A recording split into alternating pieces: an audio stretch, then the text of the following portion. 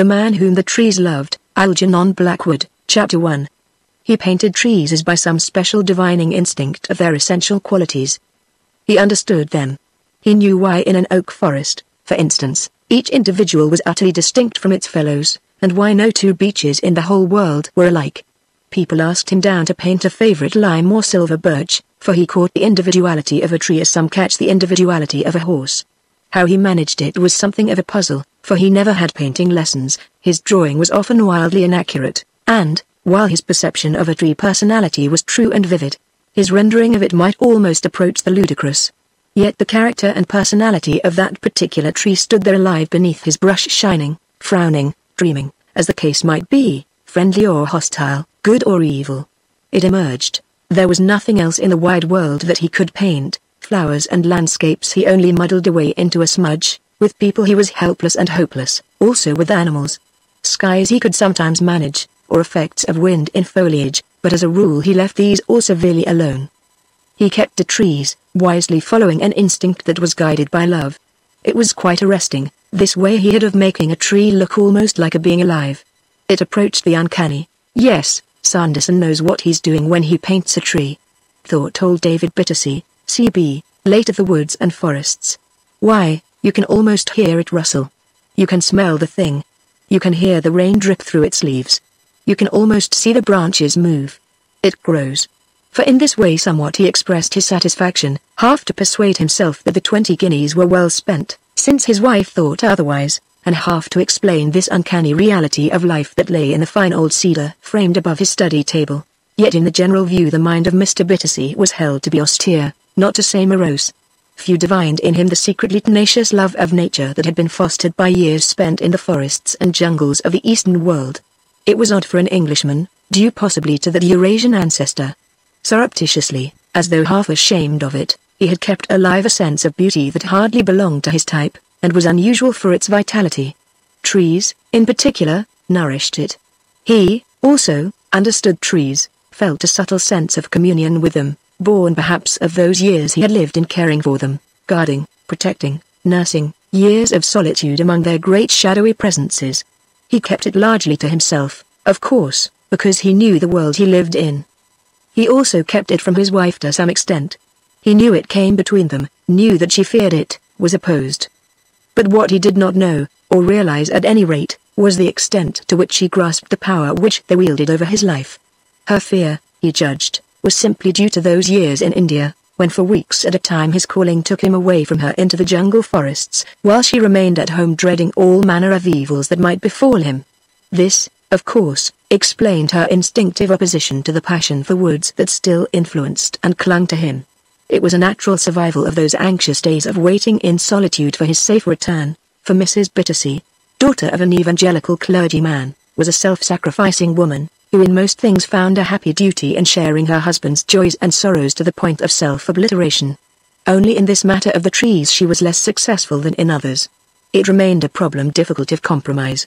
He knew, for instance, that what she objected to in this portrait of the cedar on their lawn was really not the price he had given for it but the unpleasant way in which the transaction emphasized this breach between their common interests the only one they had.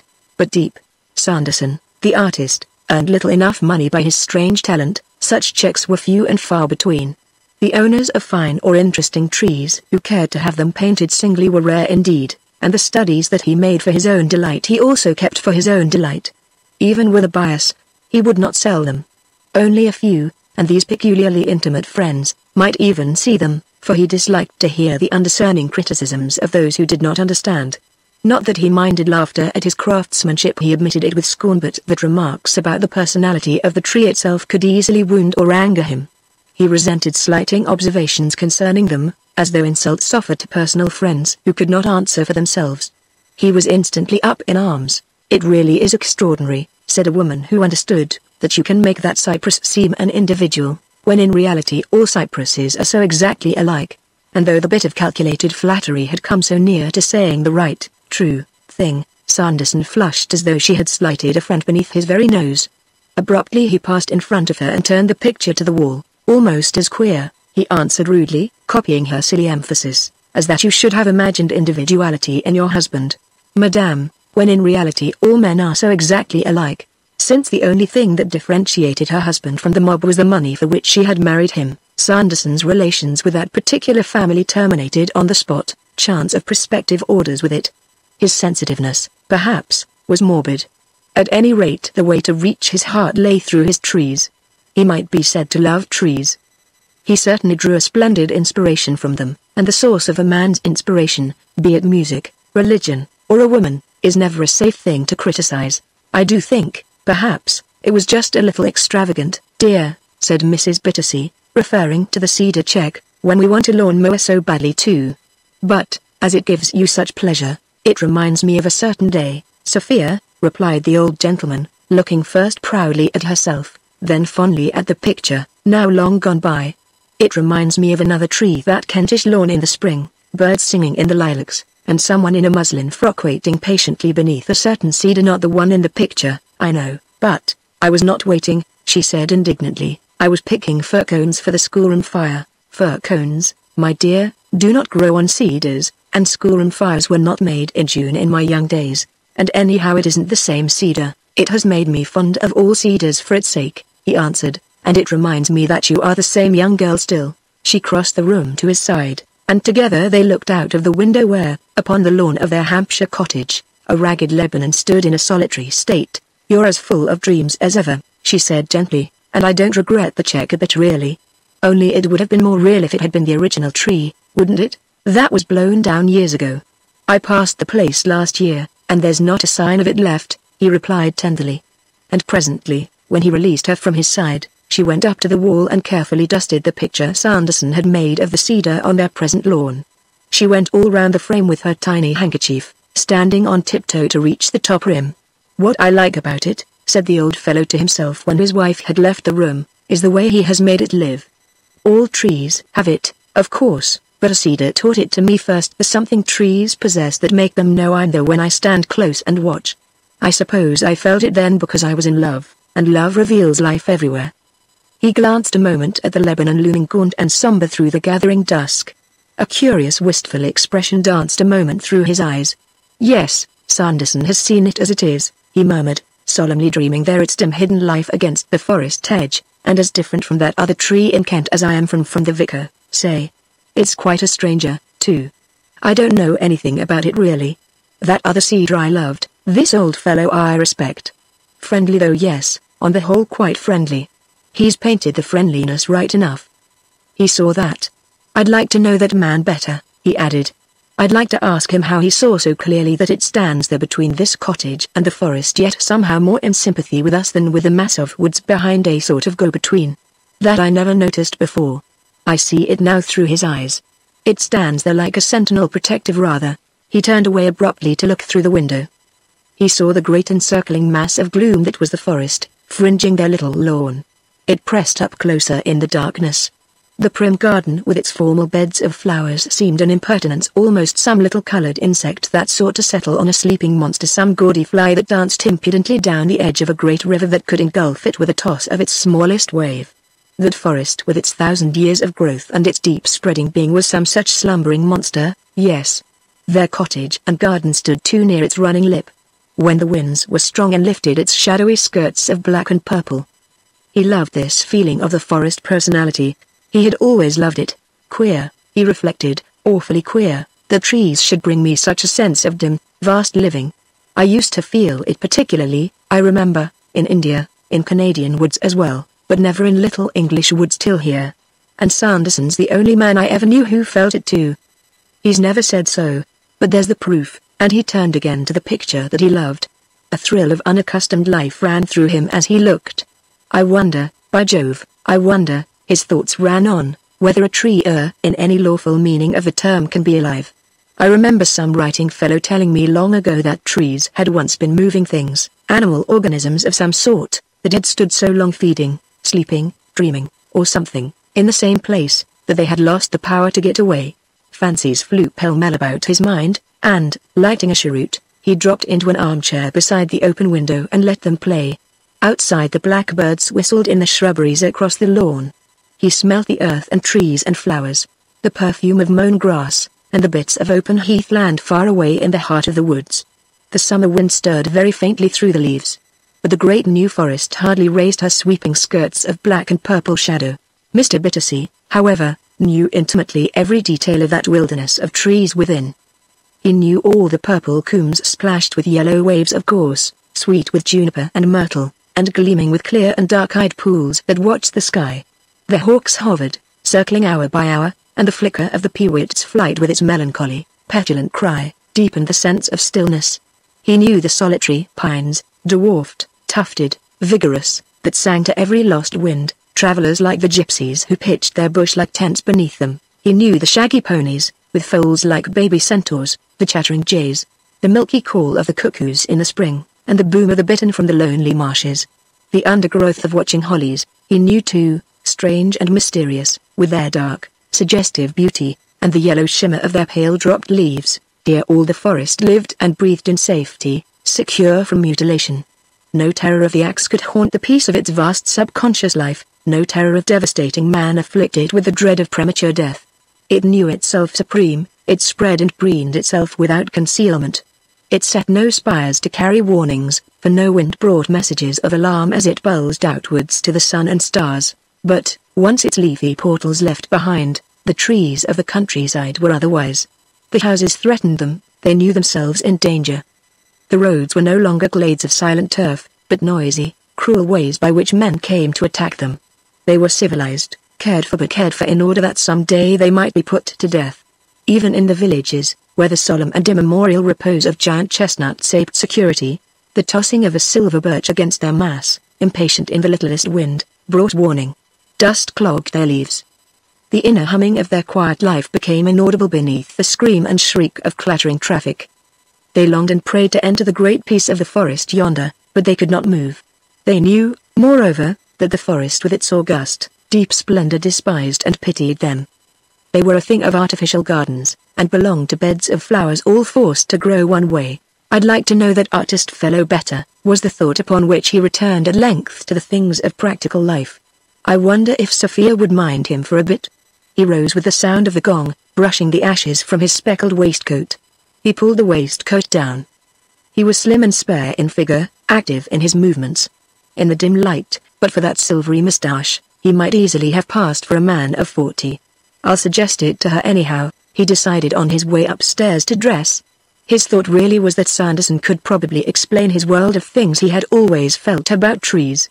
A man who could paint the soul of a cedar in that way must know it all. Why not? She gave her verdict later over the bread and butter pudding, unless you think he'd find it dull without companions. He would paint all day in the forest, dear. I'd like to pick his brains a bit, too, if I could manage it. You can manage anything, David was what she answered, for this elderly childless couple used an affectionate politeness long since deemed old-fashioned. The remark, however, displeased her, making her feel uneasy, and she did not notice his rejoinder, smiling his pleasure and content except yourself and our bank account, my dear. This passion of his for trees was of old a bone of contention, though very mild contention. It frightened her. That was the truth. The Bible, her Baedeker for earth and heaven, did not mention it. Her husband, while humoring her, could never alter that instinctive dread she had. He soothed, but never changed her. She liked the woods, perhaps as spots for shade and picnics, but she could not, as he did, love them. And after dinner, with a lamp beside the open window, he read aloud from the Times the Evening Post had brought, such fragments as he thought might interest her. The custom was invariable, except on Sundays, when, to please his wife, he dozed over Tennyson or Farrar as their mood might be. She knitted while he read, asked gentle questions, told him his voice was a lovely reading voice, and enjoyed the little discussions that occasions prompted because he always let her with them with ah, Sophia, I had never thought of it quite in that way before. But now you mention it I must say I think there's something in it, for David Bittacy was wise. It was long after marriage, during his months of loneliness spent with trees and forests in India, his wife waiting at home in the bungalow, that his other, deeper side had developed the strange passion that she could not understand. And after one or two serious attempts to let her share it with him, he had given up and learned to hide it from her. He learned, that is, to speak of it only casually, for since she knew it was there, to keep silence altogether would only increase her pain. So from time to time he skimmed the surface just to let her show him where he was wrong and think she won the day. It remained a debatable land of compromise. He listened with patience to her criticisms, her excursions and alarms, knowing that while it gave her satisfaction, it could not change himself. The thing lay in him too deep and true for change. But, for peace sake, some meeting place was desirable, and he found it thus. It was her one fault in his eyes, this religious mania carried over from her upbringing, and it did no serious harm. Great emotion could shake it sometimes out of her. She clung to it because her father taught it her and not because she had thought it out for herself. Indeed, like many women, she never really thought at all, but merely reflected the images of others' thinking which she had learned to see. So, wise in his knowledge of human nature, old David Bittacy accepted the pain of being obliged to keep a portion of his inner life shut off from the woman he deeply loved. He regarded her little biblical phrases as oddities that still clung to a rather fine, big soul like horns and little useless things some animals have not yet lost in the course of evolution while they have outgrown their use. My dear, what is it? You frightened me. She asked it suddenly, sitting up so abruptly that her cap dropped sideways almost to her ear. For David Bittacy behind his crackling paper had uttered a sharp exclamation of surprise. He had lowered the sheet and was staring at her over the tops of his gold glasses. Listen to this, if you please, he said, a note of eagerness in his voice. Listen to this, my dear Sophia. It's from an address by Francis Darwin before the Royal Society. He is president, you know, and son of the great Darwin. Listen carefully, I beg you. It is most significant. I am listening, David, she said with some astonishment, looking up. She stopped her knitting. For a second she glanced behind her. Something had suddenly changed in the room, and it made her feel wide awake though before she had been almost dozing. Her husband's voice and manner had introduced this new thing. Her instincts rose in warning. To read it, dear. He took a deep breath, looking first again over the rims of his glasses to make quite sure of her attention. He had evidently come across something of genuine interest, although herself she often found the passages from these addresses somewhat heavy. In a deep, emphatic voice he read aloud. Apostrophe It is impossible to know whether or not plants are conscious, but it is consistent with the doctrine of continuity that in all living things there is something psychic, and if we accept this point of view, if, she interrupted, scenting danger, he ignored the interruption as a thing of slight value he was accustomed to, apostrophe if we accept this point of view, he continued, we must believe that in plants there exists a faint copy of what we know as consciousness in ourselves. He laid the paper down and steadily stared at her. Their eyes met. He had italicized the last phrase, for a minute or two his wife made no reply or comment. They stared at one another in silence.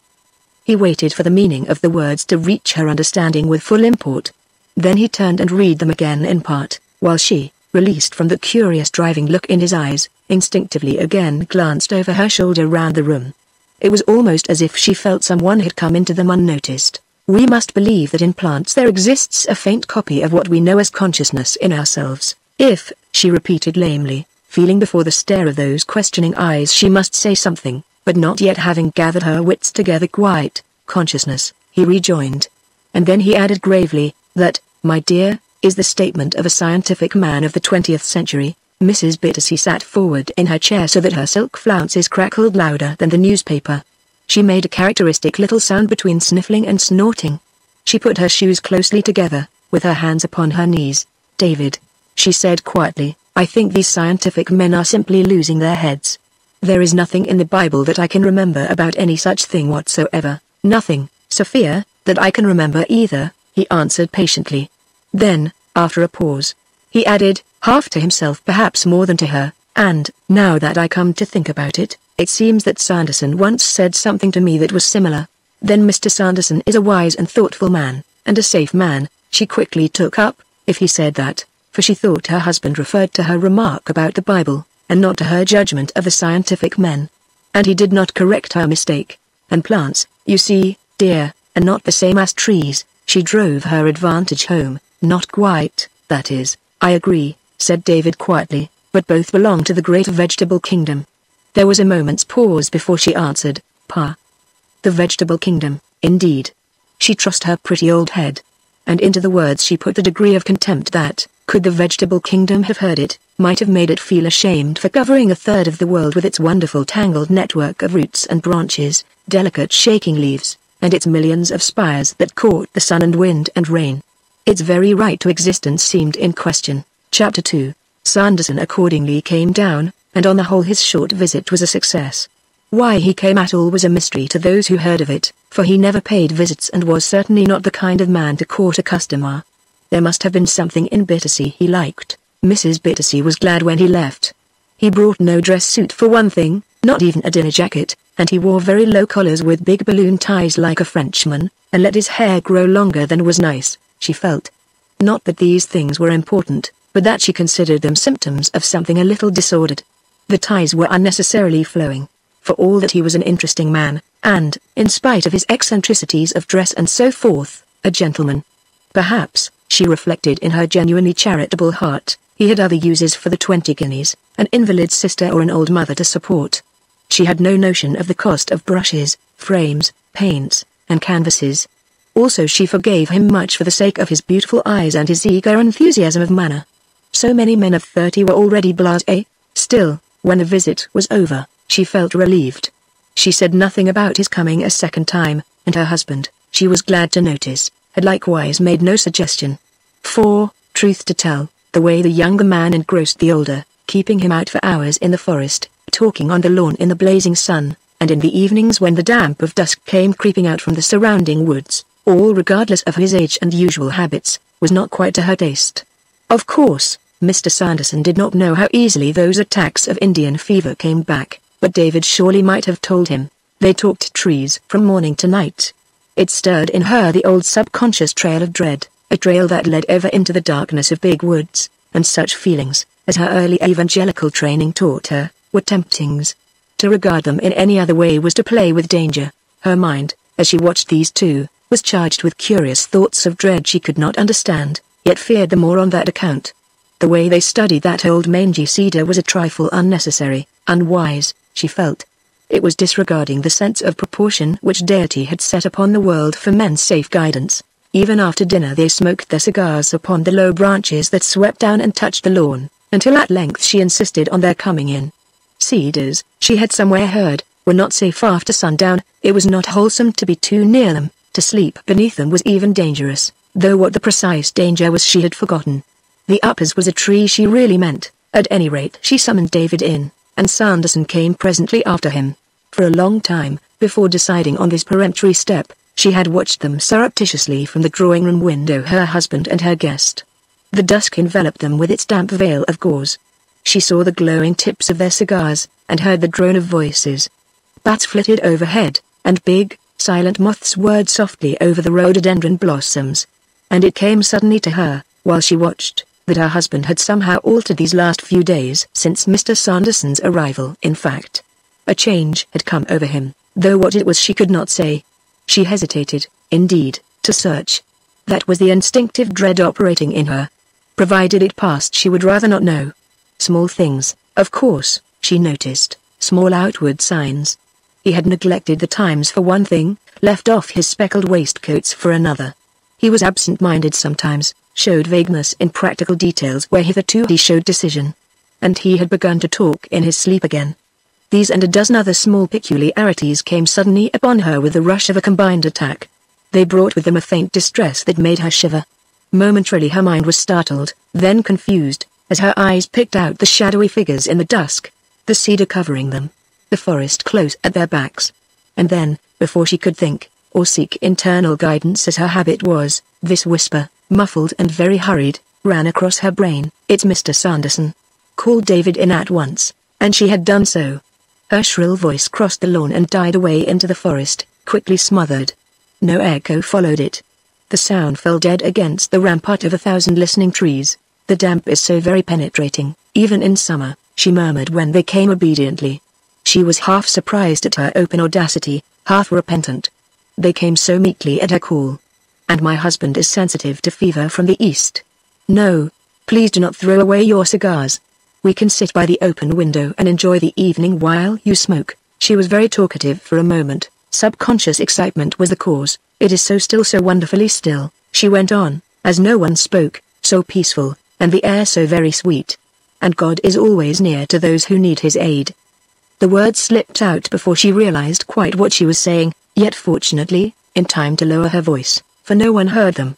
They were, perhaps, an instinctive expression of relief.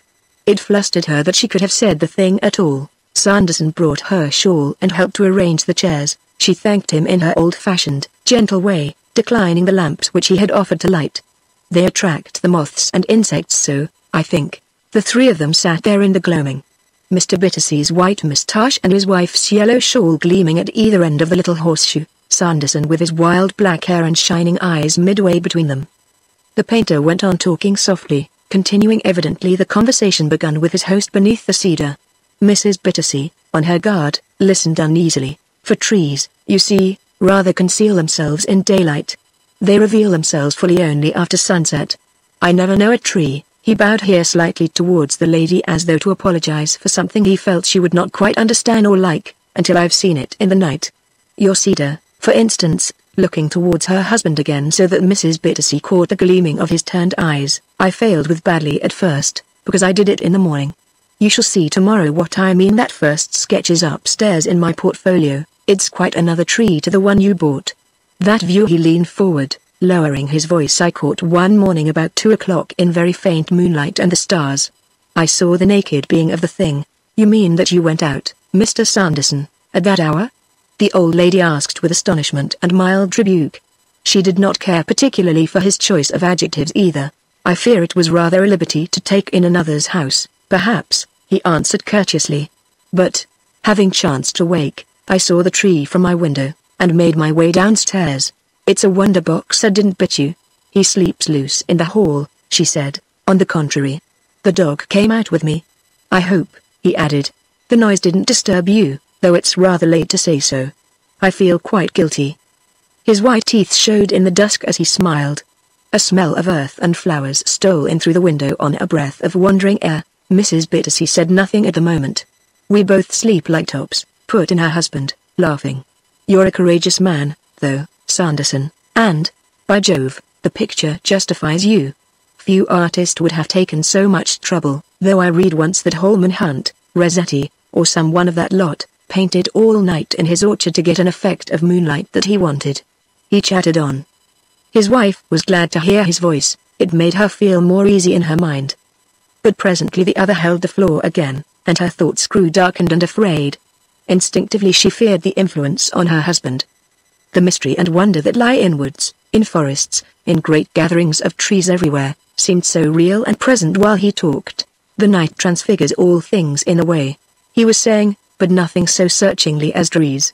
From behind a veil that sunlight hangs before them in the day they emerge and show themselves. Even buildings do that in a measure but trees particularly.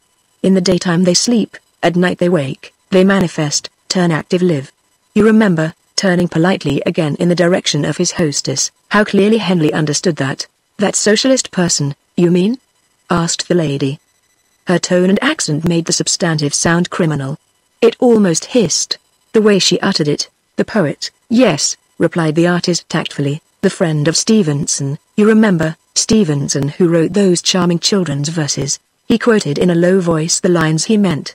It was, for once, the time, the place, and the setting all together. The words floated out across the lawn towards the wall of blue darkness where the big forest swept the little garden with its league-long curve that was like the shoreline of a sea. A wave of distant sound that was like surf accompanied his voice, as though the wind was fain to listen to. Not to the staring day, for all the importunate questionings he pursues in his big, violent voice, shall those mild things of bulk and multitude, the trees God's sentinels, yield their huge, unutterable selves but at the word of the ancient, sacerdotal night, night of many secrets, whose effect transfiguring, hierophantic, dread themselves alone may fully apprehend. They tremble and are changed, in each the uncouth, individual soul looms forth and glooms essential, and, their bodily presence is touched with inordinate significance, wearing the darkness like a livery of some mysterious and tremendous guild, they brood they menace they appall. The voice of Mrs. Bittacy presently broke the silence that followed. I like the part about God's sentinels, she murmured. There was no sharpness in her tone, it was hushed and quiet. The truth, so musically uttered, muted her shrill objections though it had not lessened her alarm. Her husband made no comment. His cigar, she noticed, had gone out, and old trees in particular, continued the artist, as though to himself, have very definite personalities. You can offend, wound, please them. The moment you stand within their shade you feel whether they come out to you, or whether they withdraw. He turned abruptly towards his host. You know that singular essay of Prentice Mulford's, no doubt God in the trees extravagant perhaps, but yet with a fine true beauty in it? You've never read it, no? He asked, but it was Mrs. Bittersea who answered, her husband keeping his curious deep silence. I never did. It fell like a drip of cold water from the face muffled in the yellow shawl. Even a child could have supplied the remainder of the unspoken thought. Ah, said Sanderson gently, but there is God in the trees. God in a very subtle aspect and sometimes I have known the trees express it to that which is not God dark and terrible. Have you ever noticed, too, how clearly trees show what they want choose their companions, at least? How beeches, for instance, allow no life too near them birds or squirrels in their boughs, nor any growth beneath. The silence in the beechwood is quite terrifying often. And how pines like bilberry bushes at their feet and sometimes little oak salt trees making a clear, deliberate choice, and holding firmly to it. Some trees obviously it's very strange and marked seem to prefer the human. The old lady sat up crackling, for this was more than she could permit. Her stiff silk dress emitted little sharp reports. We know, she answered, that he was said to have walked in the garden in the cool of the evening the god betrayed the effort that it cost her but we are nowhere told that he hid in the trees, or anything like that. Trees, after all, we must remember, are only large vegetables. True, was the soft answer, but in everything that grows, has life, that is. There's mystery past all finding out. The wonder that lies hidden in our own souls lies also hidden, I venture to assert, in the stupidity and silence of a mere potato. The observation was not meant to be amusing. It was not amusing. No one laughed. On the contrary, the words conveyed in too literal a sense the feeling that haunted all that conversation.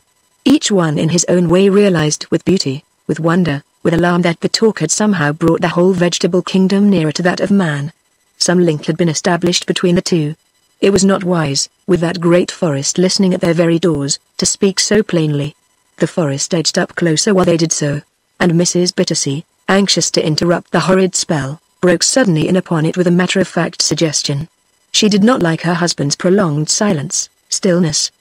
He seemed so negative so changed. David, she said, raising her voice, I think you're feeling the dampness. It's grown chilly. The fever comes so suddenly, you know, and it might be wise to take the tincture. I'll go and get it, dear, at once. It's better. And before he could object that she had left the room to bring the homeopathic dose that she believed in, and that, to please her, he swallowed by the tumblerful from week to week. And the moment the door closed behind her, Sanderson began again, though now in quite a different tone. Mr. Bittacy sat up in his chair. The two men obviously resumed the conversation the real conversation interrupted beneath the cedar and left aside the sham one which was so much dust merely thrown in the old lady's eyes. Trees love you, that's the fact, he said earnestly. Your service to them all these years abroad has made them know you, know me, made them, yes, he paused a moment, then added comma made them aware of your presence. Aware of a force outside themselves that deliberately seeks their welfare, don't you see? By Jove, Sanderson. This put into plain language actual sensations he had felt, yet had never dared to phrase in words before. They get into touch with me, as it were? He ventured, laughing at his own sentence, yet laughing only with his lips. Exactly, was the quick, emphatic reply. They seek to blend with something they feel instinctively to be good for them, helpful to their essential beings, encouraging to their best expression their life. Good Lord, sir. Bittacy heard himself saying, but you're putting my own thoughts into words. Do you know, I've felt something like that for years. As though he looked round to make sure his wife was not there, then finished the sentence as though the trees were after me. Amalgamate seems the best word, perhaps, said Sanderson slowly. They would draw you to themselves, Good forces, you see, always seek to merge, evil to separate, that's why good in the end must always win the day everywhere. The accumulation in the long run becomes overwhelming. Evil tends to separation, dissolution, death. The comradeship of trees, their instinct to run together, is a vital symbol. Trees in a mass are good, alone, you may take it generally, are well, dangerous. Look at a monkey puzzler, or better still, a holly. Look at it, watch it, understand it. Did you ever see more plainly an evil thought made visible? They're wicked. Beautiful too, oh yes. There's a strange, miscalculated beauty often in evil. That cedar, then, not evil, no, but alien, rather. Cedars grow in forests altogether. The poor thing has drifted, that is all. They were getting rather deep. Sanderson, talking against time, spoke so fast. It was too condensed. Bittacy hardly followed that last bit. His mind floundered among his own less definite, less sorted thoughts, till presently another sentence from the artist startled him into attention again. That cedar will protect you here, though, because you both have humanized it by your thinking so lovingly of its presence. The others can't get past it, as it were, protect me. He exclaimed. Protect me from their love? Sanderson laughed. We're getting rather mixed, he said. We're talking of one thing in the terms of another really. But what I mean is you see that their love for you, their awareness of your personality and presence involves the idea of winning you across the border into themselves into their world of living. It means, in a way, taking you over. The ideas the artist started in his mind ran furious wild races to and fro. It was like a maze sprung suddenly into movement. The whirling of the intricate lines bewildered him. They went so fast, leaving but half an explanation of their goal. He followed first one, then another, but a new one always dashed across to intercept before he could get anywhere. But India, he said, presently in a lower voice, India is so far away from this little English forest. The trees, too, are utterly different for one thing, the rustle of skirts warned of Mrs. Bittacy's approach. This was a sentence he could turn round another way in case she came up and pressed for explanation. There is communion among trees all the world over, was the strange quick reply. They always know, they always know. You think then? The winds, you see the great, swift carriers. They have their ancient rights of way about the world. An easterly wind, for instance, carrying on stage by stage as it were linking dropped messages and meanings from land to land like the birds an easterly wind, Mrs. Bittacy swept in upon them with a tumbler. There, David, she said, that will ward off any beginnings of attack. Just a spoonful, dear. Oh, oh. Not all. For he had swallowed half the contents at a single gulp as usual, another dose before you go to bed, and the balance in the morning, first thing when you wake. She turned to her guest, who put the tumbler down for her upon a table at his elbow. She had heard them speak of the east wind. She emphasized the warning she had misinterpreted.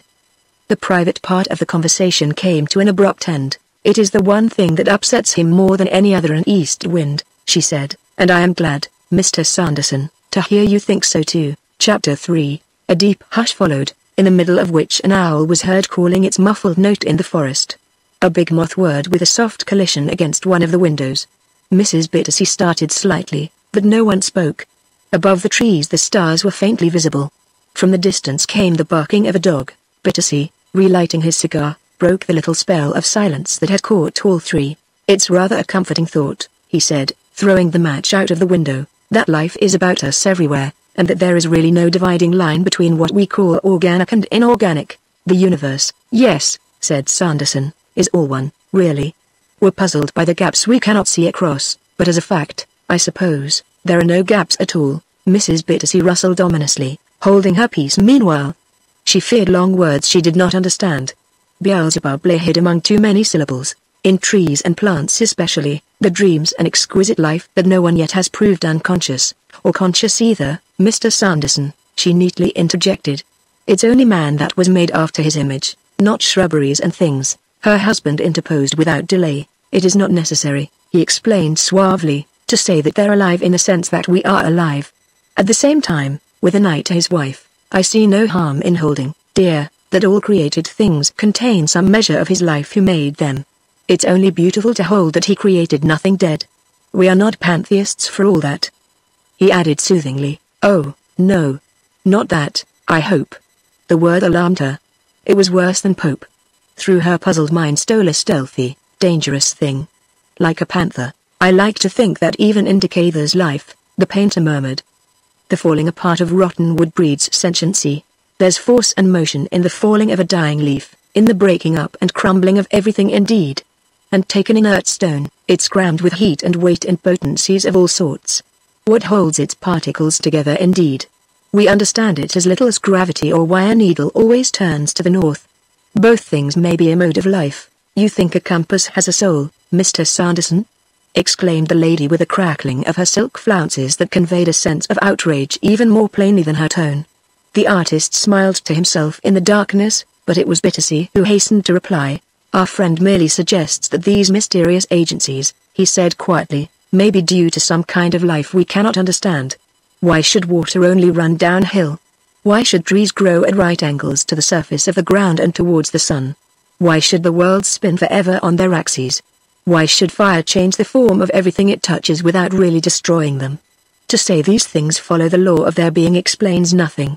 Mr. Sanderson merely suggests poetically, my dear, of course that these may be manifestations of life, though life at a different stage to ours.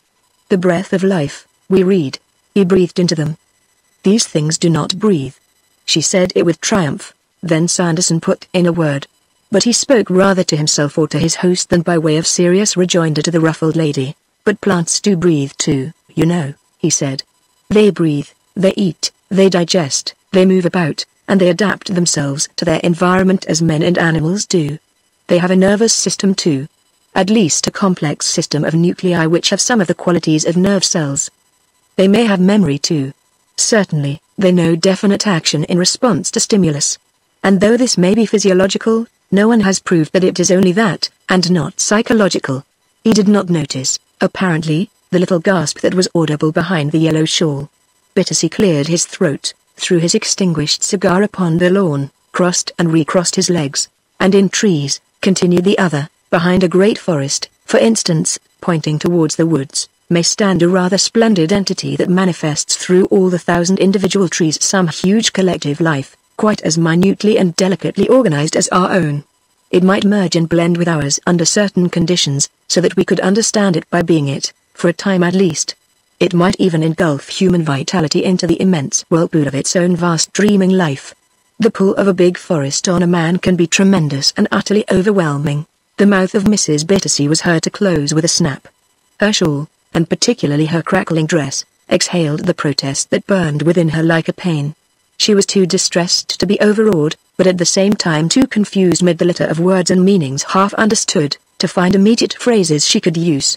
Whatever the actual meaning of his language might be, however, and whatever subtle dangers lay concealed behind them meanwhile, they certainly wove a kind of gentle spell with the glimmering darkness that held all three delicately enmeshed there by that open window. The odors of dewy lawn, flowers, trees, and earth formed part of it. The moods, he continued, that people waken in us are due to their hidden life affecting our own. Deep calls to sleep. A person, for instance, joins you in an empty room, you both instantly change. The new arrival, though in silence, has caused a change of mood. May not the moods of nature touch and stir us in virtue of a similar prerogative? The sea, the hills, the desert, wake passion, joy, terror, as the case may be, for a few, perhaps. He glanced significantly at his host so that Mrs. Bittacy again caught the turning of his eyes, emotions of a curious, flaming splendor that are quite nameless. Well, whence come these powers? Surely from nothing that is dead. Does not the influence of a forest, its sway and strange ascendancy over certain minds, betray a direct manifestation of life? It lies otherwise beyond all explanation, this mysterious emanation of big woods. Some natures, of course, deliberately invite it.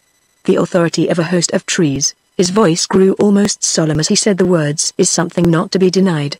One feels it here, I think, particularly. There was considerable tension in the air as he ceased speaking. Mr. Bittacy had not intended that the talk should go so far. They had drifted.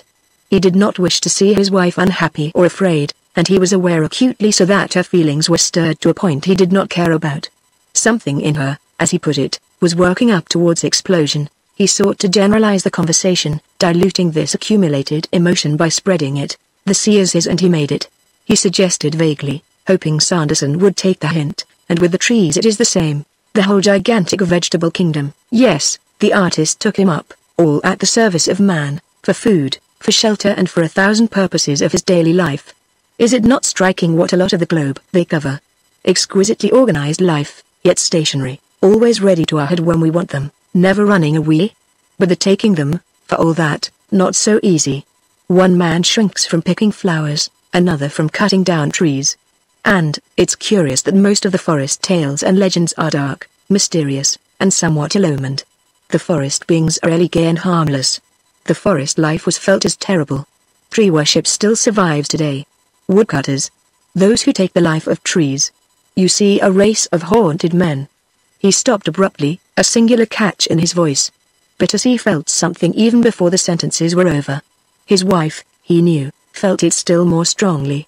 For it was in the middle of the heavy silence following upon these last remarks, that Mrs. Bittacy, rising with a violent abruptness from her chair, drew the attention of the others to something moving towards them across the lawn. It came silently. In outline it was large and curiously spread. It rose high, too, for the sky above the shrubberies, still pale gold from the sunset, was dimmed by its passage. She declared afterwards that it moved in looping circles, but what she perhaps meant to convey was spirals. She screamed faintly. It's come at last. And it's you that brought it. She turned excitedly, half afraid, half angry, to Sanderson. With a breathless sort of gasp she said it, politeness all forgotten. I knew it. If you went on. I knew it. Oh. Oh. And she cried again, your talking has brought it out. The terror that shook her voice was rather dreadful. But the confusion of her vehement words passed unnoticed in the first surprise they caused. For a moment nothing happened. What is it you think you see, my dear? asked her husband, startled. Sanderson said nothing. All three leaned forward. The men still sitting, but Mrs. Bittacy had rushed hurriedly to the window, placing herself of a purpose, as it seemed, between her husband and the lawn. She pointed. Her little hand made a silhouette against the sky, the yellow shawl hanging from the arm like a cloud, beyond the cedar between it and the lilacs. The voice had lost its shrillness, it was thin and hushed. There. Now you see it going round upon itself again going back, thank God. Going back to the forest. It sank to a whisper, shaking. She repeated, with a great dropping sigh of relief thank God. I thought. At first. It was coming here. To us. David. To you. She stepped back from the window, her movements confused, feeling in the darkness for the support of a chair and finding her husband's outstretched hand instead. Hold me, dear, hold me, please. Tight. Do not let me go. She was in what he called afterwards a regular state. He drew her firmly down upon her chair again. Smoke, Sophie, my dear, he said quickly, trying to make his voice calm and natural. I see it, yes. It's smoke blowing over from the gardener's cottage, but, David, and there was a new horror in her whisper now it made a noise. It makes it still. I hear it swishing. Some such word she used swishing, sishing, rushing, or something of the kind. David, I'm very frightened. It's something awful. That man has called it out. Hush, hush, whispered her husband. He stroked her trembling hand beside him. It is in the wind, said Sanderson, speaking for the first time, very quietly. The expression on his face was not visible in the gloom, but his voice was soft and unafraid. At the sound of it, Mrs. Bittacy started violently again. Bittacy drew his chair a little forward to obstruct her view of him. He felt bewildered himself, a little, hardly knowing quite what to say or do. It was all so very curious and sudden, but Mrs. Bittacy was badly frightened. It seemed to her that what she saw came from the enveloping forest just beyond their little garden. It emerged in a sort of secret way, moving towards them as with a purpose, stealthily, difficultly. Then something stopped it. It could not advance beyond the cedar, the seed of this impression remained with her afterwards to prevent it, kept it back. Like a rising sea the forest had surged a moment in their direction through the covering darkness, and this visible movement was its first wave. Thus to her mind it seemed. Like that mysterious turn of the tide that used to frighten and mystify her in childhood on the sands. The outward surge of some enormous power was what she felt. Something to which every instinct in her being rose in opposition because it threatened her and hers. In that moment she realized the personality of the forest. Menacing. In the stumbling movement that she made away from the window and towards the bell she barely caught the sentence Sanderson or was it her husband question mark murmured to himself, it came because we talked of it, our thinking made it aware of us and brought it out. But the cedar stops it. It cannot cross the lawn, you see, all three were standing now, and her husband's voice broke in with authority while his wife's fingers touched the bell, my dear, I should not say anything to Thompson. The anxiety he felt was manifest in his voice, but his outward composure had returned. The gardener can go. Then Sanderson cut him short. Allow me, he said quickly. I'll see if anything's wrong.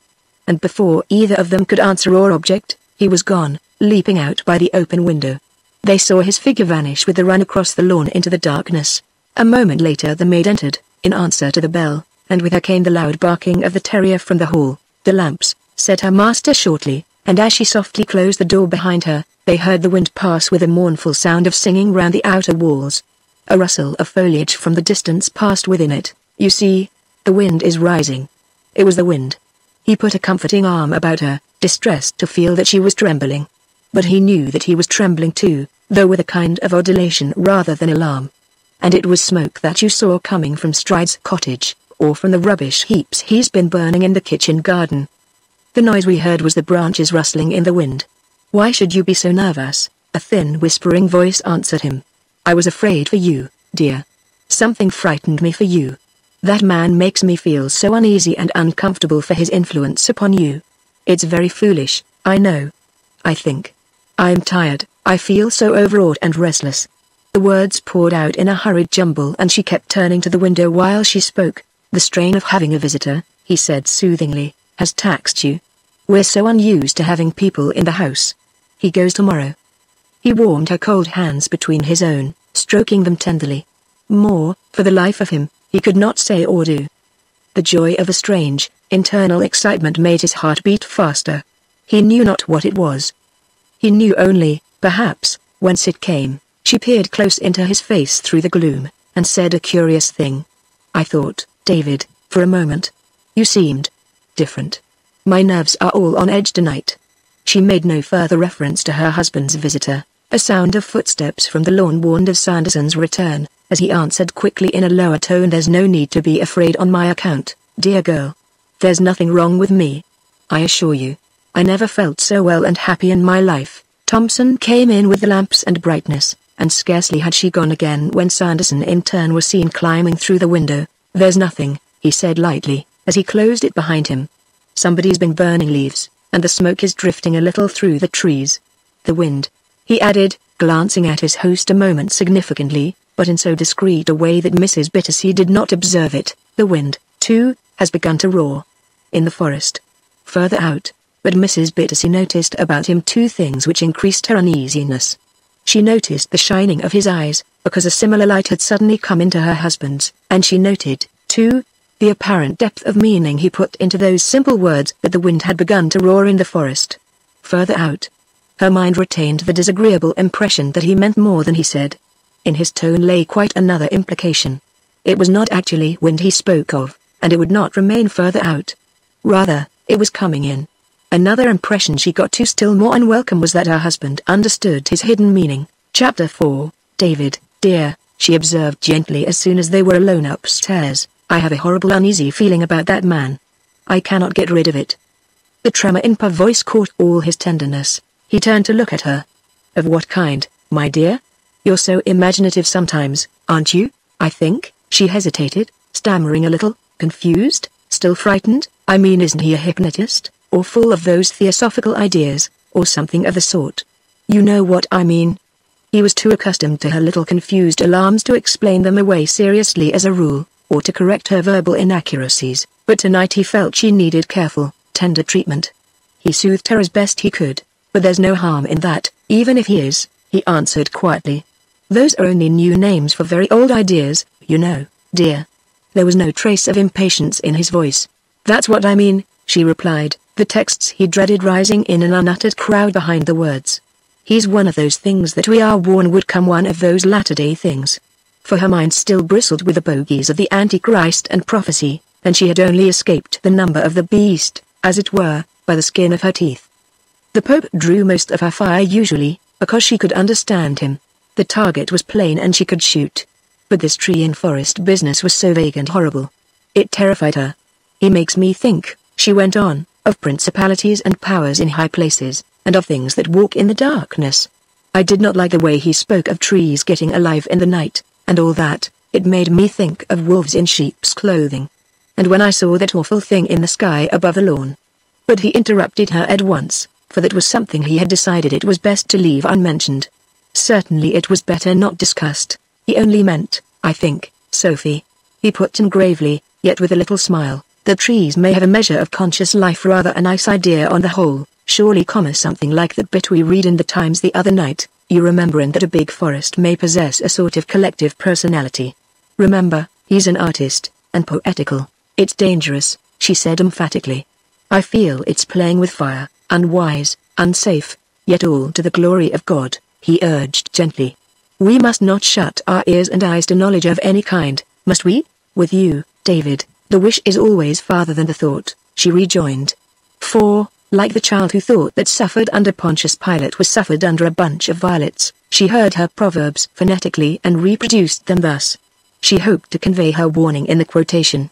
And we must always try the spirits whether they be of God, she added tentatively, certainly, dear, we can always do that. He assented, getting into bed. But, after a little pause, during which he blew the light out, David Bittacy settling down to sleep with an excitement in his blood that was new and bewilderingly delightful, realized that perhaps he had not said quite enough to comfort her. She was lying awake by his side, still frightened. He put his head up in the darkness. Sophie, he said softly, you must remember, too, that in any case between us and and all that sort of thing there is a great gulf fixed, a gulf that cannot be crossed her while we are still in the body. And hearing no reply, he satisfied himself that she was already asleep and happy. But Mrs. Bittacy was not asleep. She heard the sentence, only she said nothing because she felt her thought was better unexpressed. She was afraid to hear the words in the darkness. The forest outside was listening and they might hear them to the forest that was roaring further out. And the thought was this, that gulf, of course, existed, but Sanderson had somehow bridged it. It was much later than night when she awoke out of troubled, uneasy dreams and heard a sound that twisted her very nerves with fear. It passed immediately with full waking, for, listen as she might, there was nothing audible but the inarticulate murmur of the night. It was in her dreams she heard it, and the dreams had vanished with it. But the sound was recognizable, for it was that rushing noise that had come across the lawn, only this time closer. Just above her face while she slept had passed this murmur as of rustling branches in the very room, a sound of foliage whispering. A going in the tops of the mulberry trees, ran through her mind. She had dreamed that she lay beneath a spreading tree somewhere, a tree that whispered with 10,000 soft lips of green, and the dream continued for a moment even after waking. She sat up in bed and stared about her. The window was open at the top, she saw the stars, the door, she remembered, was locked as usual, the room, of course, was empty. The deep hush of the summer night lay over all, broken only by another sound that now issued from the shadows close beside the bed, a human sound, yet unnatural, a sound that seized the fear with which she had waked and instantly increased it and, although it was one she recognized as familiar, at first she could not name it. Some seconds certainly passed and, they were very long ones before she understood that it was her husband talking in his sleep. The direction of the voice confused and puzzled her, moreover, for it was not, as she first supposed, beside her. There was distance in it. The next minute, by the light of the sinking candle flame, she saw his white figure standing out in the middle of the room, halfway towards the window. The candlelight slowly grew, she saw him move then nearer to the window, with arms outstretched. His speech was low and mumbled, the words running together too much to be distinguishable, and she shivered. To her, sleep talking was uncanny to the point of horror, it was like the talking of the dead, mere parody of a living voice, unnatural, David. She whispered, dreading the sound of her own voice, and half afraid to interrupt him and see his face. She could not bear the sight of the wide-opened eyes. David, you're walking in your sleep. Do come back to bed, dear, please. Her whisper seemed so dreadfully loud in the still darkness. At the sound of her voice he paused, then turned slowly round to face her. His widely opened eyes stared into her own without recognition. They looked through her into something beyond, it was as though he knew the direction of the sound, yet could not see her. They were shining, she noticed, as the eyes of Sanderson had shone several hours ago, and his face was flushed, distraught. Anxiety was written upon every feature, and, instantly, recognizing that the fever was upon him, she forgot her terror temporarily in practical considerations. He came back to bed without waking. She closed his eyelids. Presently he composed himself quietly to sleep, or rather to deeper sleep.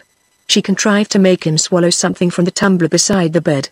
Then she rose very quietly to close the window, feeling the night air blow in too fresh and keen. She put the candle where it could not reach him, the sight of the big Baxter Bible beside it comforted her a little, but all through her underbeing ran the warnings of a curious alarm. And it was while in the act of fastening the catch with one hand and pulling the string of the blind with the other, that her husband sat up again in bed and spoke in words this time that were distinctly audible. The eyes had opened wide again. He pointed. She stood stock still and listened, her shadow distorted on the blind. He did not come out towards her as at first she feared, the whispering voice was very clear horrible, too, beyond all she had ever known. They are roaring in the forest further out. And I must go and see. He stared beyond her as he said it, to the woods. They are needing me. They sent for me. Then his eyes wandering back again to things within the room, he lay down, his purpose suddenly changed. And that change was horrible as well, more horrible, perhaps, because of its revelation of another detailed world. He moved and far away from her. The singular phrase chilled her blood, for a moment she was utterly terrified. That tone of the somnambulist, differing so slightly yet so distressingly from normal, waking speech, seemed to her somehow wicked. Evil and danger lay waiting thick behind it. She leaned against the windowsill, shaking in every limb. She had an awful feeling for a moment that something was coming in to fetch him. Not yet, then, she heard in a much lower voice from the bed, but later. It will be better so. I shall go later. The words expressed some fringe of these alarms that had haunted her so long, and that the arrival and presence of Sanderson seemed to have brought to the very edge of a climax she could not even dare to think about. They gave it form, they brought it closer, they sent her thoughts to her deity in a wild, deep prayer for help and guidance. For here was a direct, unconscious betrayal of a world of inner purposes and claims her husband recognized while he kept them almost wholly to himself. By the time she reached his side and knew the comfort of his touch, the eyes had closed again, this time of their own accord, and the head lay calmly back upon the pillows. She gently straightened the bedclothes. She watched him for some minutes, shading the candle carefully with one hand. There was a smile of strangest peace upon the face. Then, blowing out the candle, she knelt down and prayed before getting back into bed. But no sleep came to her. She lay awake all night thinking, wondering, praying, until at length with the chorus of the birds and the glimmer of the dawn upon the green blind, she fell into a slumber of complete exhaustion, but while she slept the wind continued roaring in the forest further out. The sound came closer sometimes very close indeed, Chapter 5 With the departure of Sanderson the significance of the curious incidents waned, because the moods that had produced them passed away. Mrs. Bittacy soon afterwards came to regard them as some growth of disproportion that had been very largely, perhaps, in her own mind. It did not strike her that this change was sudden for it came about quite naturally. For one thing her husband never spoke of the matter, and for another she remembered how many things in life that had seemed inexplicable and singular at the time turned out later to have been quite commonplace. Most of it, certainly, she put down to the presence of the artist and to his wild, suggestive talk. With his welcome removal, the world turned ordinary again and safe.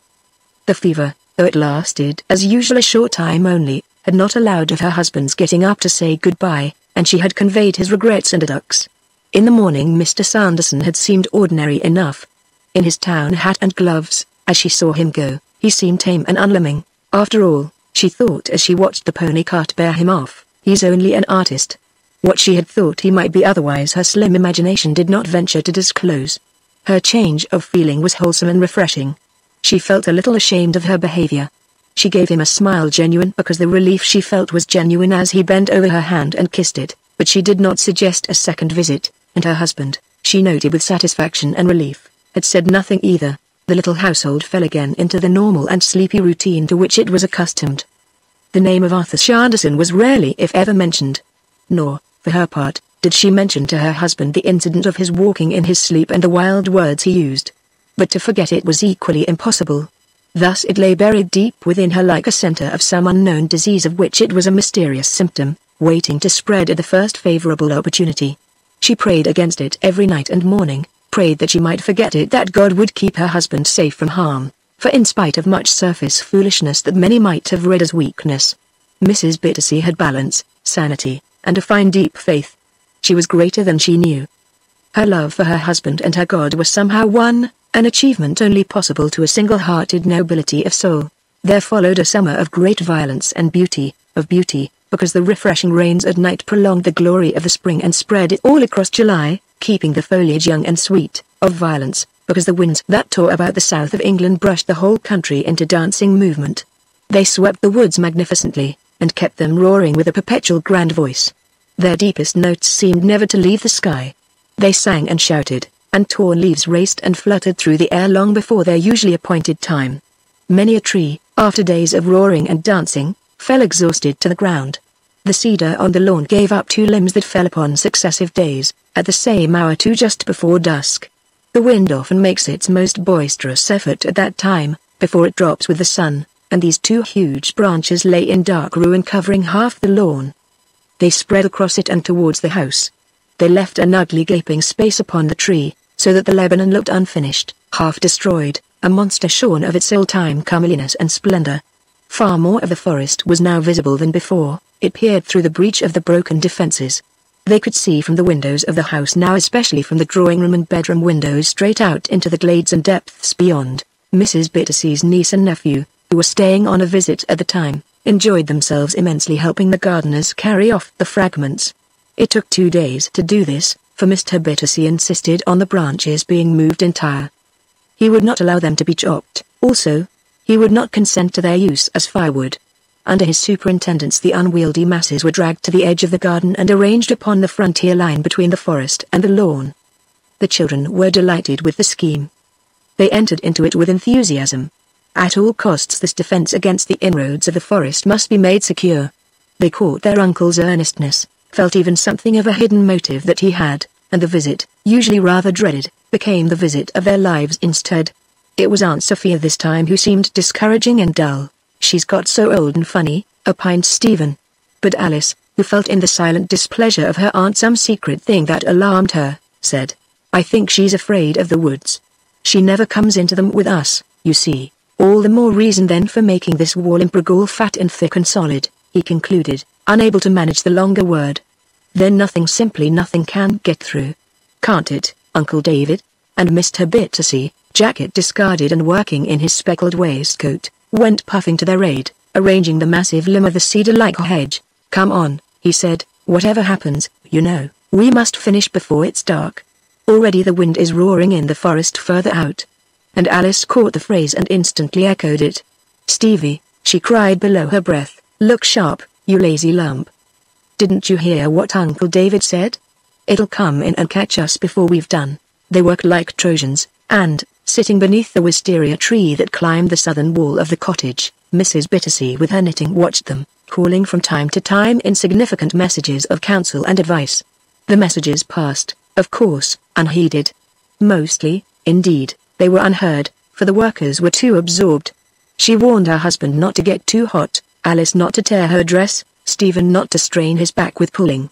Her mind hovered between the homeopathic medicine chest upstairs and her anxiety to see the business finished. For this breaking up of the cedar had stirred again her slumbering alarms. It revived memories of the visit of Mr. Sanderson that had been sinking into oblivion. She recalled his queer and odious way of talking, and many things she hoped forgotten drew their heads up from that subconscious region to which all forgetting is impossible. They looked at her and nodded. They were full of life, they had no intention of being pushed aside and buried permanently. Now look. They whispered. Didn't we tell you so? They had been merely waiting the right moment to assert their presence. And all her former vague distress crept over her. Anxiety, uneasiness returned. That dreadful sinking of the heart came too.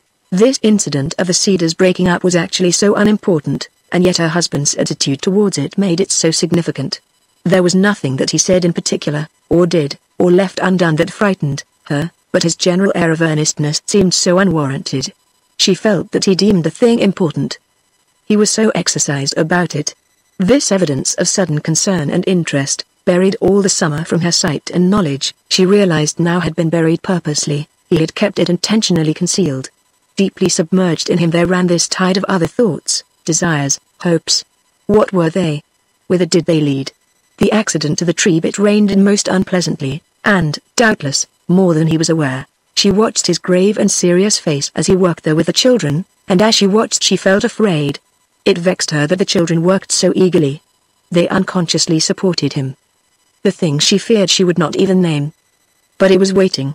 Moreover, as far as her puzzled mind could deal with a dread so vague and incoherent, the collapse of the cedar somehow brought it nearer. The fact that, also ill-explained and formless, the thing yet lay in her consciousness, out of reach but moving and alive, filled her with a kind of puzzled, dreadful wonder. Its presence was so very real, its power so gripping, its partial concealment so abominable. Then, out of the dim confusion, she grasped one thought and saw it stand quite clear before her eyes. She found difficulty in clothing it in words, but its meaning perhaps was this, that Cedar stood in their life for something friendly, its downfall meant disaster, a sense of some protective influence about the cottage, and about her husband in particular, was thereby weakened. Why do you fear the big wind so?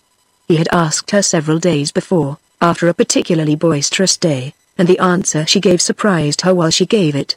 One of those heads poked up unconsciously, and let slip the truth, because, David, I feel they bring the forest with them, she faltered. They blow something from the trees into the mind into the house. He looked at her keenly for a moment. That must be why I love them then, he answered.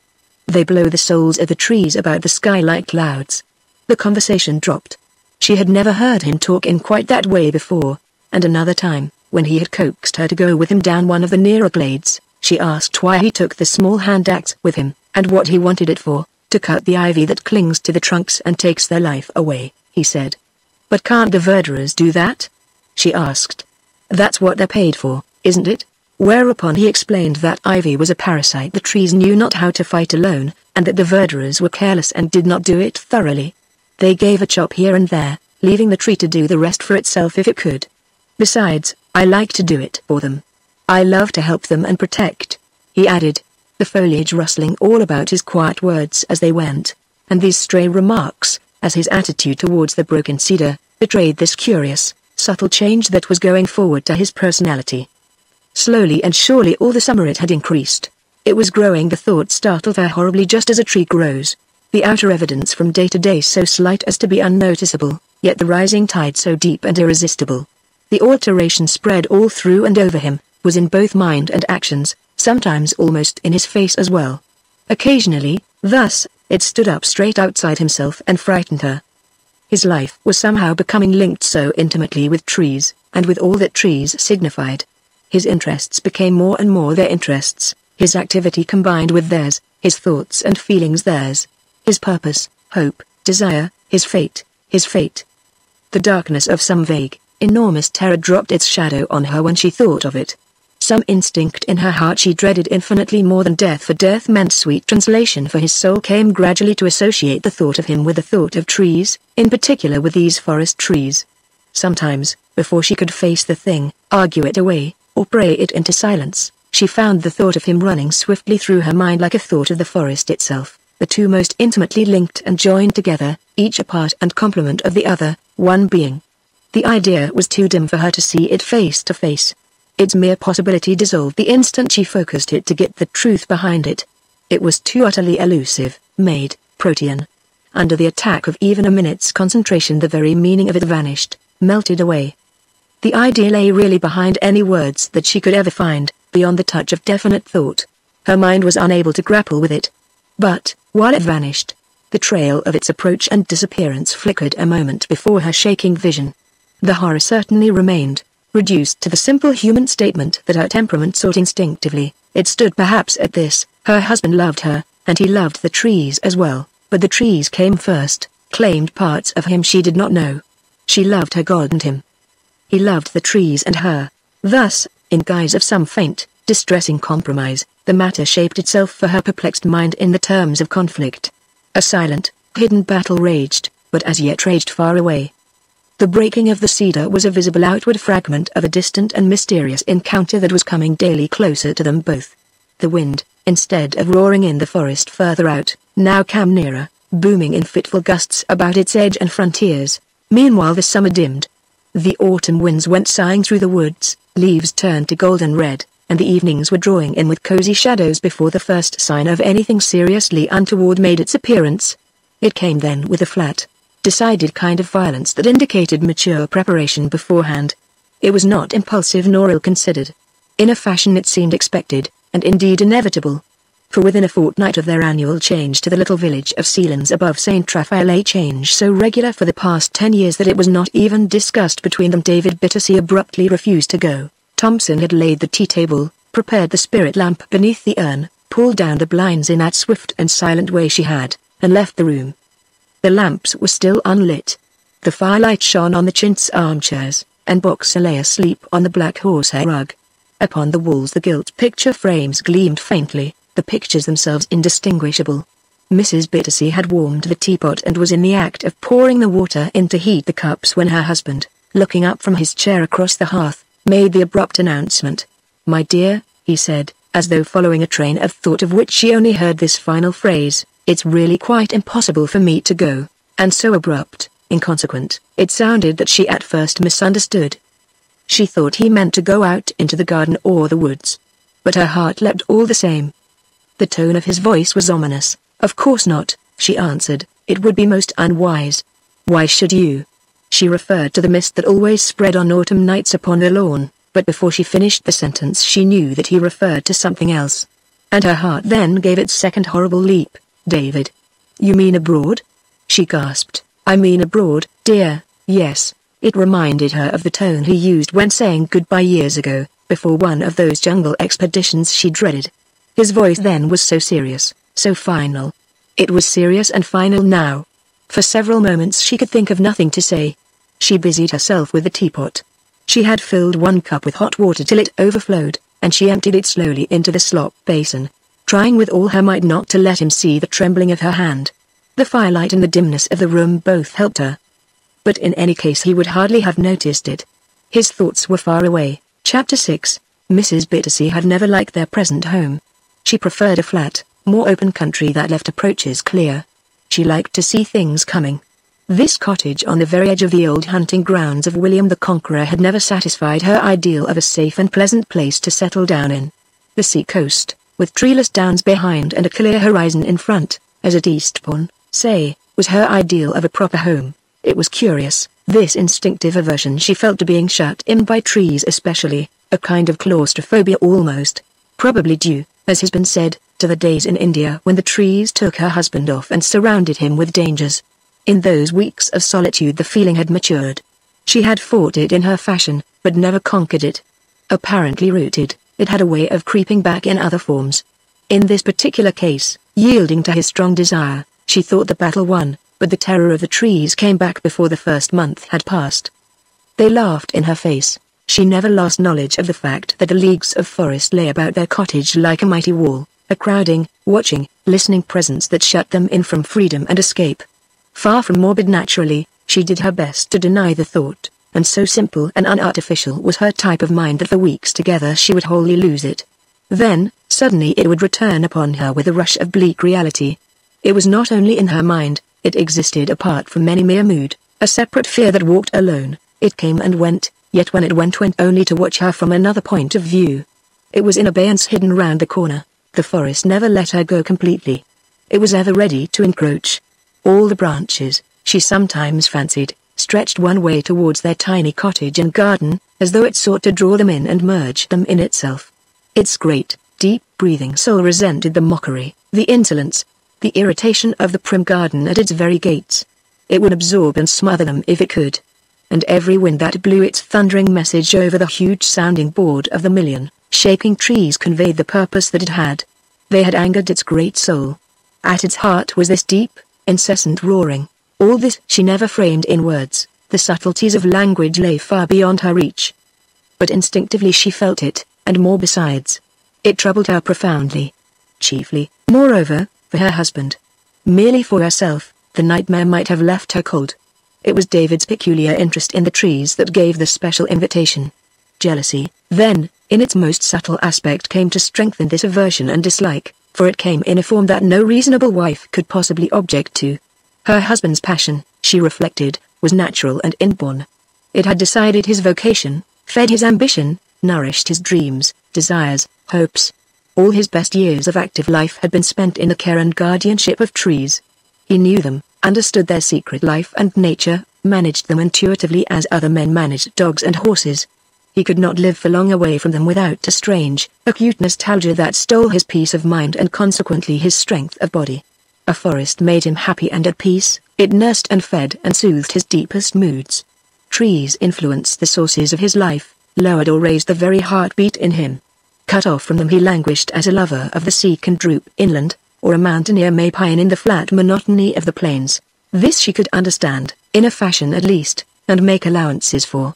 She had yielded gently, even sweetly, to his choice of their English home, for in the little island there is nothing that suggests the woods of wilder countries so nearly as the New Forest. It has the genuine air and mystery, the depth and splendor, the loneliness, and there and there the strong, untamable quality of old-time forests as Bittacy of the department knew them. In a single detail only had he yielded to her wishes. He consented to a cottage on the edge, instead of in the heart of it. And for a dozen years now they had dwelt in peace and happiness at the lips of this great spreading thing that covered so many leagues with its tangle of swamps and moors and splendid ancient trees. Only with the last two years or so with his own increasing age, and physical decline perhaps had come this marked growth of passionate interest in the welfare of the forest. She had watched it grow, at first had laughed at it, then talked sympathetically so far as sincerity permitted, then had argued mildly, and finally come to realize that its treatment lay altogether beyond her powers, and so had come to fear it with all her heart. The six weeks they annually spent away from their English home, each regarded very differently, of course. For her husband it meant a painful exile that did his health no good, he yearned for his trees the sight and sound and smell of them, but for herself it meant release from a haunting dread escape. To renounce those six weeks by the sea on the sunny, shining coast of France, was almost more than this little woman, even with her unselfishness, could face. After the first shock of the announcement, she reflected as deeply as her nature permitted, prayed, wept in secret and made up her mind. Duty, she felt clearly, pointed to renouncement. The discipline would certainly be severe she did not dream at the moment how severe exclamation mark but this fine, consistent little Christian saw it plain, she accepted it, too, without any sighing of the martyr, though the courage she showed was of the martyr order. Her husband should never know the cost. In all but this one passion his unselfishness was ever as great as her own. The love she had borne him all these years, like the love she bore her anthropomorphic deity, was deep and real. She loved to suffer for them both. Besides, the way her husband had put it to her was singular. It did not take the form of a mere selfish predilection. Something higher than two wills in conflict seeking compromise was in it from the beginning. I feel, Sophia, it would be really more than I could manage, he said slowly, gazing into the fire over the tops of his stretched out muddy boots. My duty and my happiness lie here with the forest and with you. My life is deeply rooted in this place. Something I can't define connects my inner being with these trees, and separation would make me ill might even kill me. My hold on life would weaken, here is my source of supply. I cannot explain it better than that. He looked up steadily into her face across the table so that she saw the gravity of his expression and the shining of his steady eyes. David, you feel it as strongly as that. She said, forgetting the tea things altogether. Yes, he replied, I do. And it's not at the body only, I feel it in my soul. The reality of what he hinted at crept into that shadow-covered room like an actual presence and stood beside them. It came not by the windows or the door, but it filled the entire space between the walls and ceiling. It took the heat from the fire before her face. She felt suddenly cold, confused a little, frightened. She almost felt the rush of foliage in the wind. It stood between them. There are things some things, she faltered, we are not intended to know, I think. The words expressed her general attitude to life, not alone to this particular incident. And after a pause of several minutes, disregarding the criticism as though he had not heard it I cannot explain it better than that, you see, his grave voice answered. There is this deep, tremendous link, comma some secret power they emanate that keeps me well and happy and alive. If you cannot understand, I feel at least you may be able to forgive. His tone grew tender, gentle, soft. My selfishness, I know, must seem quite unforgivable. I cannot help it somehow. These trees, this ancient forest, both seem knitted into all that makes me live, and if I go, there was a little sound of collapse in his voice.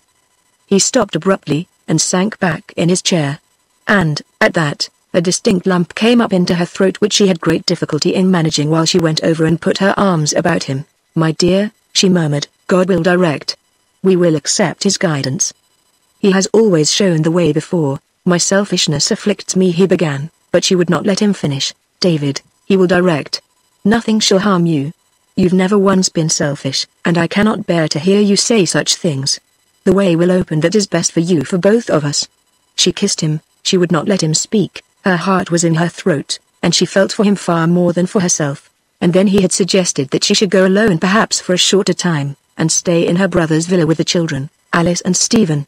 It was always open to her as she well knew. You need the change, he said, when the lamps had been lit and the servant had gone out again. You need it as much as I dread it. I could manage somehow until you returned, and should feel happier that way if you went. I cannot leave this forest that I love so well. I even feel, Sophie dear he sat up straight and faced her as he half whispered it that I can never leave it again. My life and happiness lie here together and Eve while scorning the idea that she could leave him alone with the influence of the forest all about him to have its unimpeded way, she felt the pangs of that subtle jealousy bite keen and close. He loved the forest better than herself, for he placed it first. Behind the words, moreover, hid the unuttered thought that made her so uneasy. The terror Sanderson had brought revived and shook its wings before her very eyes. For the whole conversation, of which this was a fragment, conveyed the unutterable implication that while he could not spare the trees, they equally could not spare him. The vividness with which he managed to conceal and yet betray the fact brought a profound distress that crossed the border between presentiment and warning into positive alarm. He clearly felt that the trees would miss him the trees he tended, guarded, watched over, loved. David, I shall stay here with you. I think you need me really comma don't you? Eagerly, with a touch of heartfelt passion, the words poured out. Now more than ever, dear. God bless you for your sweet unselfishness. And your sacrifice, he added, is all the greater because you cannot understand the thing that makes it necessary for me to stay. Perhaps in the spring instead she said, with a tremor in the voice. In the spring perhaps, he answered gently, almost beneath his breath. For they will not need me then. All the world can love them in the spring. It's in the winter that they're lonely and neglected. I wish to stay with them particularly then. I even feel I ought to and I must. And in this way, without further speech, the decision was made. Mrs. Bittacy, at least, asked no more questions. Yet she could not bring herself to show more sympathy than was necessary. She felt, for one thing, that if she did, it might lead him to speak freely, and to tell her things she could not possibly bear to know. And she dared not take the risk of that. Chapter 7 This was at the end of summer, but the autumn followed close.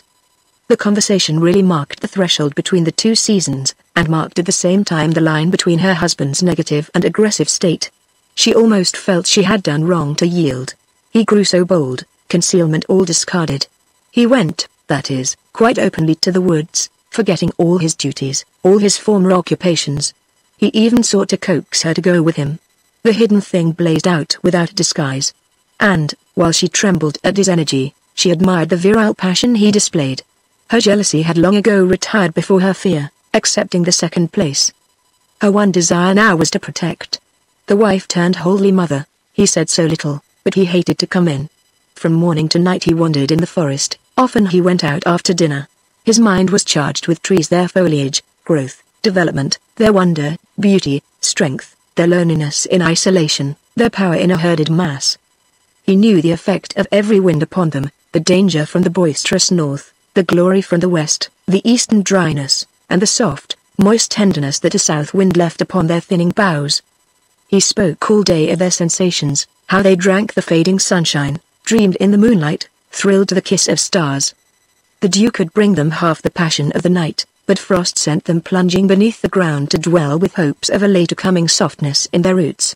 They nursed the life they carried insects, larvae, chrysalis and when the skies above them melted, he spoke of them standing motionless in an ecstasy of rain, or in the noon of sunshine self-poised upon their prodigy of shade and once in the middle of the night she woke at the sound of his voice, and heard him wide awake, not talking in his sleep but talking towards the window where the shadow of the cedar fell at noon.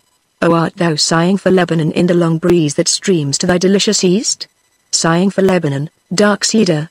And, when, half charmed, half terrified, she turned and called to him by name, he merely said, My dear, I felt the loneliness suddenly realized it through alien desolation of that tree, set here upon our little lawn in England when all her eastern brothers call her in sleep.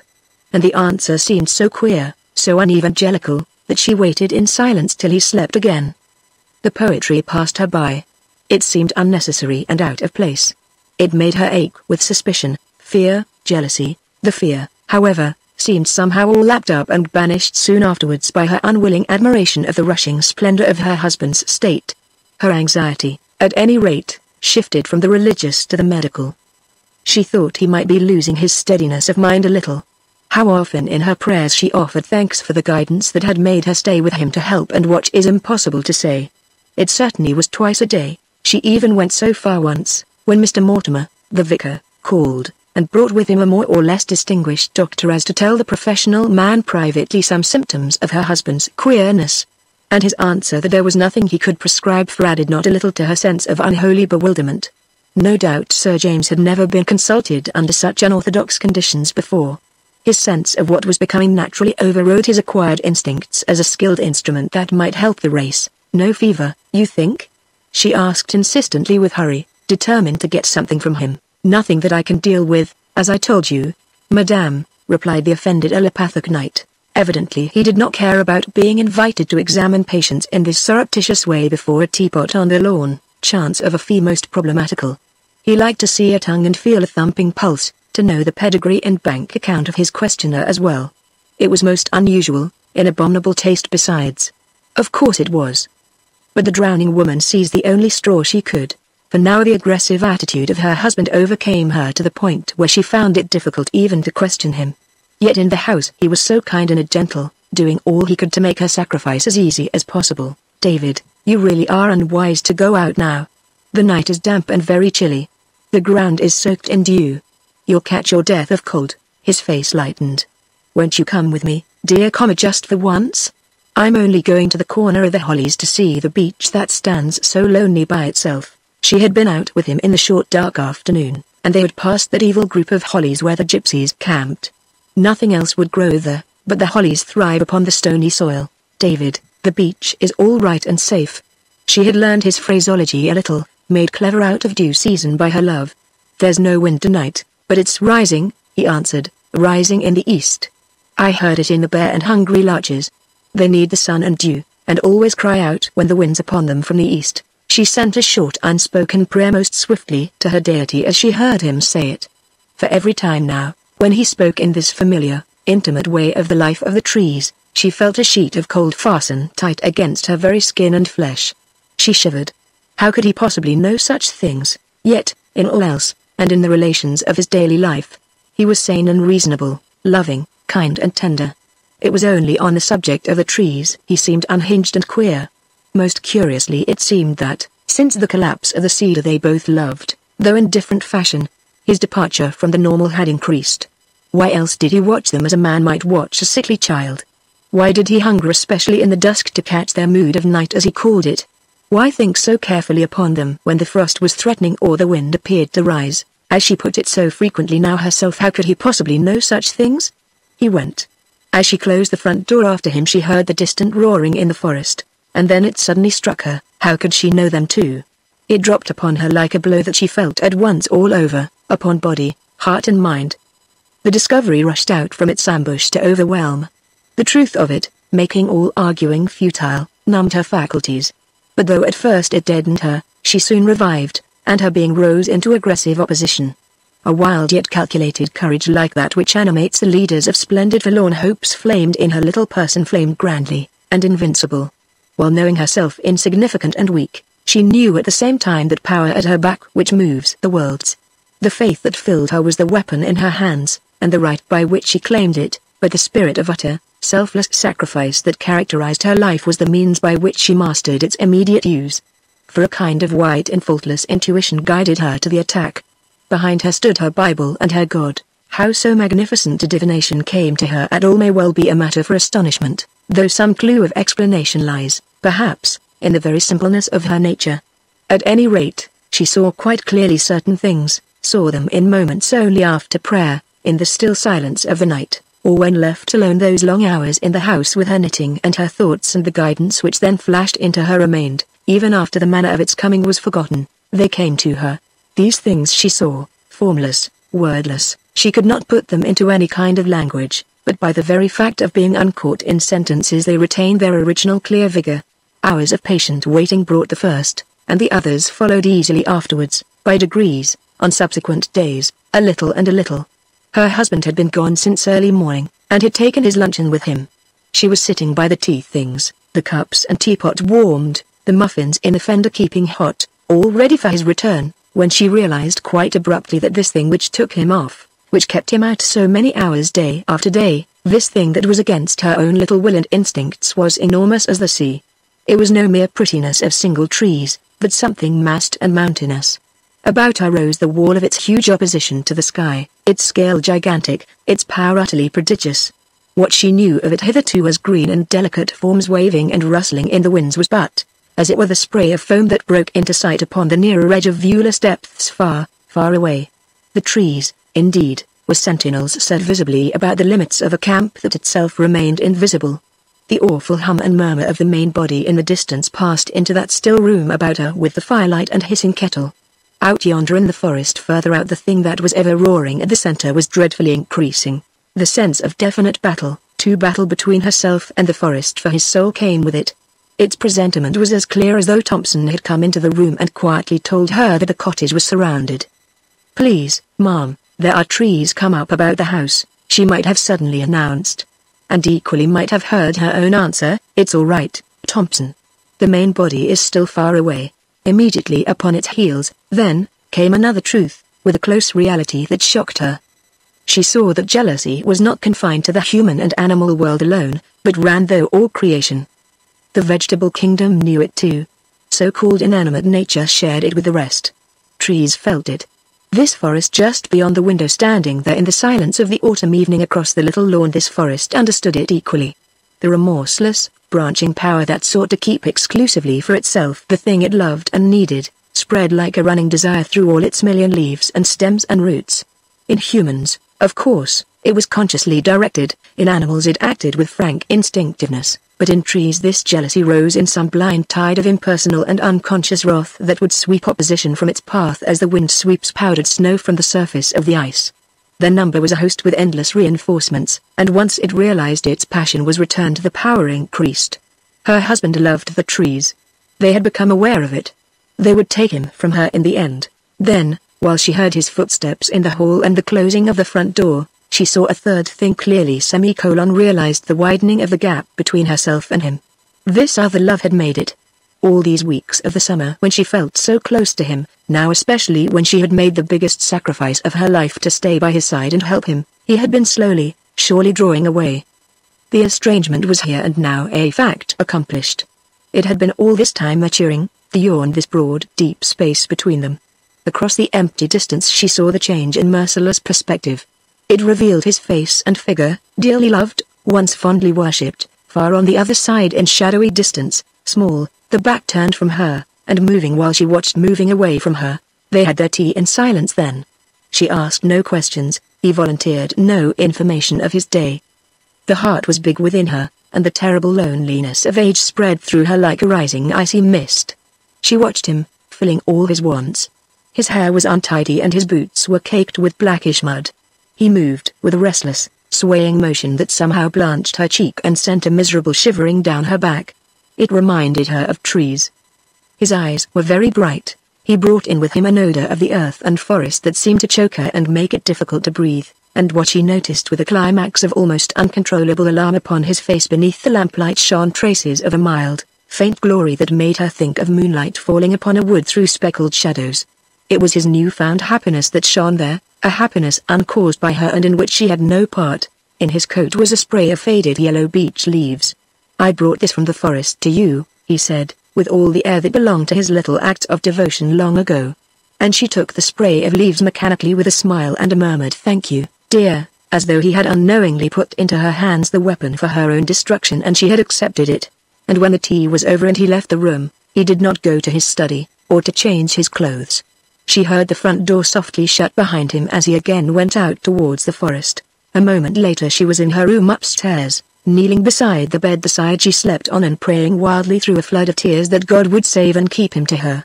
Wind brushed the window panes behind her while she knelt. Chapter 8 One sunny November morning, when the strain had reached a pitch that made repression almost unmanageable, she came to an impulsive decision, and obeyed it. Her husband had again gone out with luncheon for the day, she took adventure in her hands and followed him. The power of seeing clear was strong upon her, forcing her up to some unnatural level of understanding. To stay indoors and wait inactive for his return seemed suddenly impossible. She meant to know what he knew, feel what he felt, put herself in his place.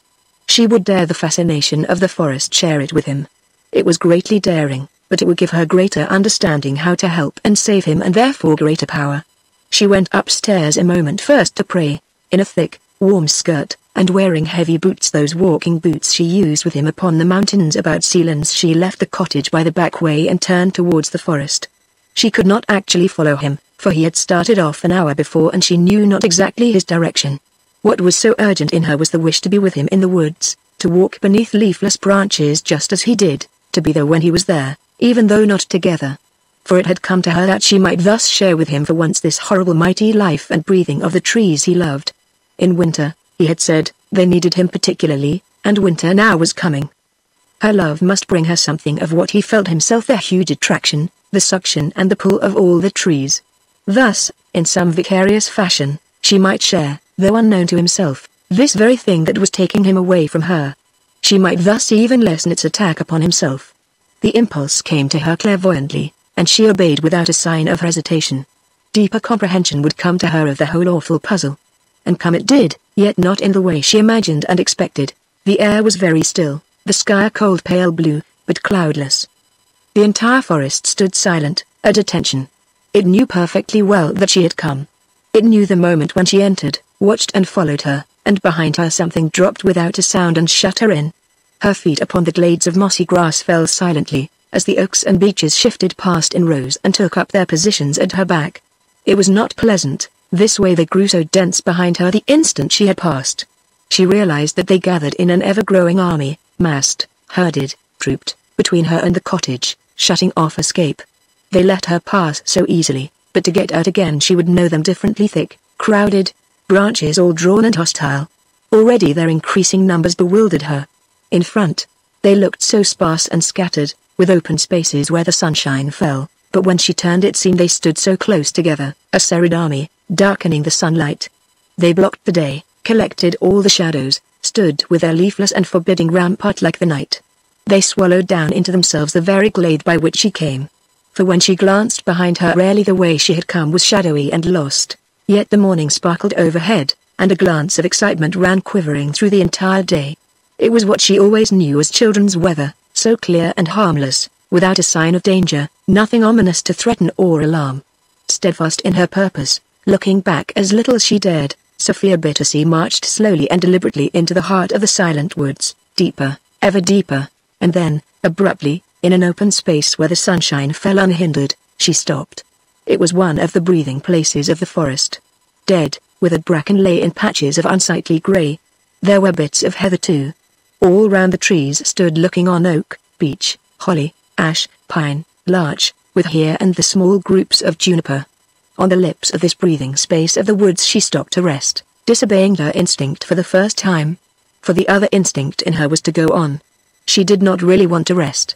This was the little act that brought it to her the wireless message from a vast emitter. I've been stopped, she thought to herself with a horrid qualm. She looked about her in this quiet, ancient place. Nothing stirred, there was no life nor sign of life, no birds sang, no rabbits scuttled off at her approach. The stillness was bewildering, and gravity hung down upon it like a heavy curtain. It hushed the heart in her. Could this be part of what her husband felt this sense of thick entanglement with stems, boughs, roots, and foliage? This has always been as it is now, she thought, yet not knowing why she thought it. Ever since the forest grew it has been still and secret here. It has never changed. The curtain of silence drew closer while she said it, thickening round her. For a thousand years I'm here with a thousand years. And behind this place stand all the forests of the world, so foreign to her temperament were such thoughts, and so alien to all she had been taught to look for in nature, that she strove against them. She made an effort to oppose. But they clung and haunted just the same, they refused to be dispersed. The curtain hung dense and heavy as though its texture thickened. The air with difficulty came through, and then she thought that curtains stirred. There was movement somewhere. That obscure dim thing which ever broods behind the visible appearances of trees came nearer to her. She caught her breath and stared about her, listening intently. The trees, perhaps because she saw them more in detail now, it seemed to her had changed. A vague, faint alteration spread over them, at first so slight she scarcely would admit it, then growing steadily, though still obscurely, outwards. They tremble and are changed, flashed through her mind the horrid line that Sanderson had quoted. Yet the change was graceful for all the uncouthness attendant upon the size of so vast a movement. They had turned in her direction. That was it. They saw her. In this way the change expressed itself in her groping, terrified thought. Till now it had been otherwise, she had looked at them from her own point of view, now they looked at her from theirs. They stared her in the face and eyes, they stared at her all over. In some unkind, resentful, hostile way. They watched her. Hitherto in life she had watched them variously, in superficial ways, reading into them what her own mind suggested. Now they read into her the things they actually were, and not merely another's interpretations of them. They seemed in their motionless silence their instinct with life, a life, moreover, that breathed about her a species of terrible soft enchantment that bewitched. It branched all through her, climbing to the brain. The forest held her with its huge and giant fascination. In this secluded breathing spot that the centuries had left untouched, she had stepped close against the hidden pulse of the whole collective mass of them. They were aware of her and had turned to gaze with a myriad, vast sight upon the intruder. They shouted at her in the silence, for she wanted to look back at them, but it was like staring at a crowd, and her glance merely shifted from one tree to another, hurriedly, finding in none the one she sought. They saw her so easily, each and all. The rose that stood behind her also stared. But she could not return the gaze. Her husband, she realized, could. And their steady stare shocked her as though in some sense she knew that she was naked. They saw so much of her. She saw of them so little. Her efforts to return their gaze were pitiful. The constant shifting increased her bewilderment. Conscious of this awful and enormous sight all over her, she let her eyes first rest upon the ground, and then she closed them all together. She kept the lids as tight together as ever they would go. But the sight of the trees came even into that inner darkness behind the fastened lids, for there was no escaping it. Outside, in the light, she still knew that the leaves of the hollies glittered smoothly, that the dead foliage of the oaks hung crisp in the air about her, that the needles of the little junipers were pointing all one way, the spread perception of the forest was focused on herself, and no mere shutting of the eyes could hide its scattered yet concentrated stare the all-inclusive vision of great woods. There was no wind, yet here and there a single leaf hanging by its dried-up stalk shook all alone with great rapidity rattling. It was the sentry drawing attention to her presence. And then, again, as once long weeks before, she felt there being as a tide about her. The tide had turned. That memory of her childhood sands came back, when the nurse said, the tide has turned now, we must go in, and she saw the mass of piled-up waters, green and heaped to the horizon, and realized that it was slowly coming in. The gigantic mass of it, too vast for hurry, loaded with massive purpose, she used to feel, was moving towards herself. The fluid body of a sea was creeping along beneath the sky to the very spot upon the yellow sands where she stood and played. The sight and thought of it had always overwhelmed her with a sense of awe as though her puny self were the object of the whole sea's advance. The tide has turned, we had better now go in.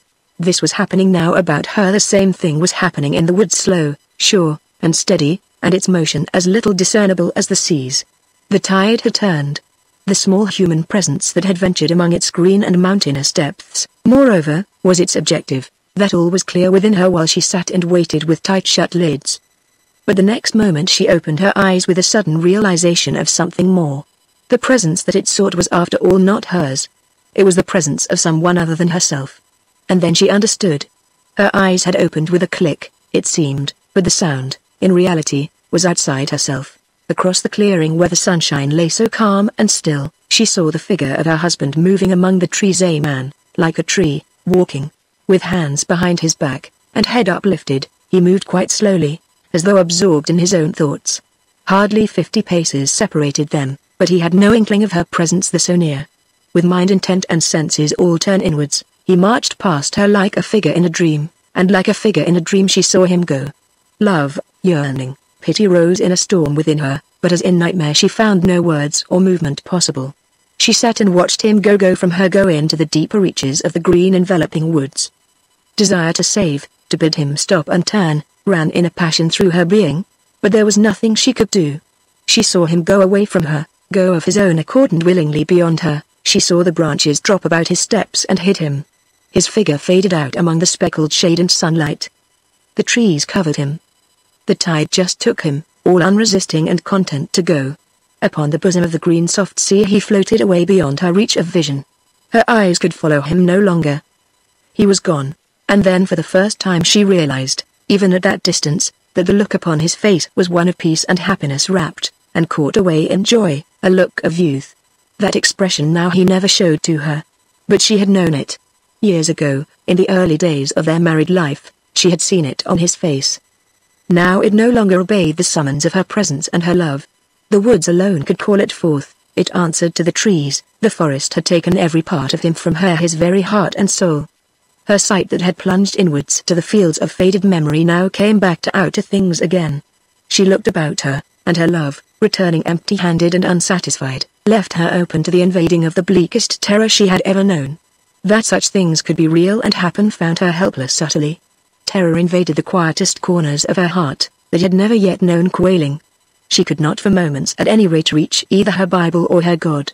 Desolate in an empty world of fear she sat with eyes too dry and hot for tears, yet with a coldness as of ice upon her very flesh. She stared, unseeing, about her. That horror which stalks in the stillness of the noonday, when the glare of an artificial sunshine lights up the motionless trees, moved all about her. In front and behind she was aware of it.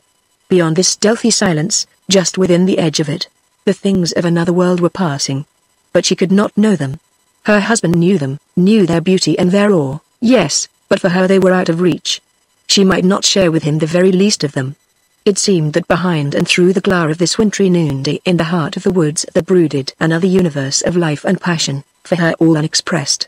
The silence veiled it, the stillness hid it, but he moved with it all and understood. His love interpreted it, she rose to her feet, tottered feebly, and collapsed again upon the moss. Yet for herself she felt no terror, no little personal fear could touch her whose anguish and deep longing streamed all out to him whom she so bravely loved. In this time of utter self-forgetfulness, when she realized that the battle was hopeless, thinking she had lost even her God, she found him again quite close beside her like a little presence in this terrible heart of a hostile forest. But at first she did not recognize that he was there, she did not know him in that strangely unacceptable guise. For he stood so very close, so very intimate, so very sweet and comforting, and yet so hard to understand as resignation. Once more she struggled to her feet, and this time turned successfully and slowly made her way along the mossy glade by which she came. And at first she marveled, though only for a moment, at the ease with which she found the path. For a moment only, because almost at once she saw the truth. The trees were glad that she should go. They helped her on her way. The forest did not want her. The tide was coming in, indeed, yet not for her, and so, in another of those flashes of clear vision that of late had lifted life above the normal level, she saw and understood the whole terrible thing complete, till now, though unexpressed in thought or language, her fear had been that the woods her husband loved would somehow take him from her to merge his life in theirs even to kill him on some mysterious way. This time she saw her deep mistake and so seeing, let in upon herself the fuller agony of horror. For their jealousy was not the petty jealousy of animals or humans. They wanted him because they loved him, but they did not want him dead. Full charged with his splendid life and enthusiasm, they wanted him. They wanted him alive. It was she who stood in their way, and it was she whom they intended to remove. This was what brought the sense of abject helplessness. She stood upon the sands against an entire ocean slowly rolling in against her. For, as all the forces of a human being combine unconsciously to eject the grain of sand that has crept beneath the skin to cause discomfort, so the entire mass of what Sanderson had called the collective consciousness of the forest strove to eject this human atom that stood across the path of its desire. Loving her husband, she had crept beneath its skin. It was her they would eject and take away, it was her they would destroy, not him. Him, whom they loved and needed, they would keep alive. They meant to take him living. She reached the house in safety, though she never remembered how she found her way. It was made all simple for her. The branches almost urged her out. But behind her, as she left the shadowed precincts, she felt as though some towering angel of the woods let fall across the threshold the flaming sword of a countless multitude of leaves that formed behind her a barrier, green, shimmering, and impassable.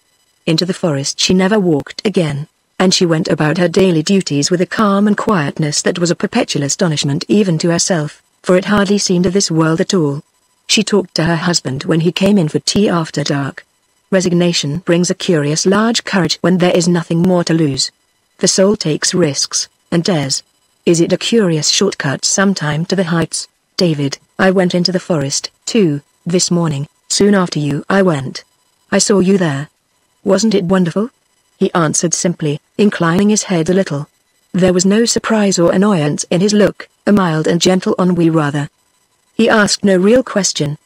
She thought of some garden tree the wind attacks too suddenly, bending it over when it does not want to bend the mild unwillingness with which it yields. She often saw him this way now, in the terms of trees. It was very wonderful indeed, dear, yes, she replied low, her voice not faltering though indistinct. But for me it was too too strange and big. The passion of tears lay just below the quiet voice all unbetrayed, Somehow she kept them back. There was a pause, and then he added. I find it more and more so every day. His voice passed through the lamplit room like a murmur of the wind in branches. The look of youth and happiness she had caught upon his face out there had wholly gone, and an expression of weariness was in its place, as of a man distressed vaguely at finding himself in uncongenial surroundings where he is slightly ill at ease.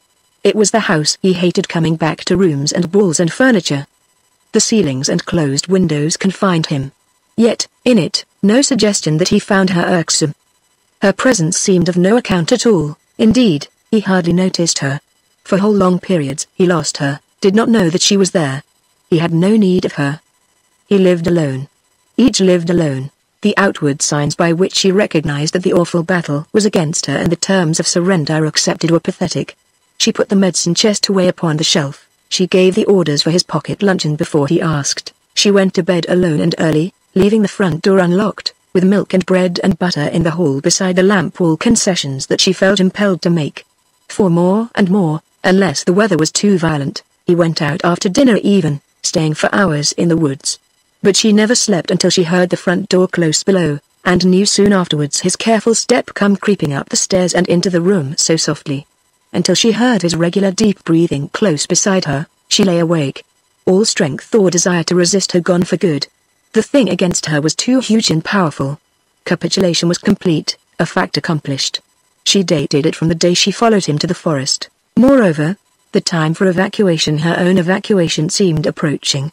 It came stealthily ever nearer, surely and slowly as the rising tide she used to dread. At the high water mark she stood waiting calmly waiting to be swept away. Across the lawn all those terrible days of early winter the encircling forest watched it come, guiding its silent swell and currents towards her feet. Only she never once gave up her Bible or her praying. This complete resignation, moreover, had somehow brought to her a strange great understanding, and if she could not share her husband's horrible abandonment to powers outside himself, she could, and did, in some half-groping way grasp at shadowy meanings that might make such abandonment possible, yes, but more than merely possible in some extraordinary sense not evil.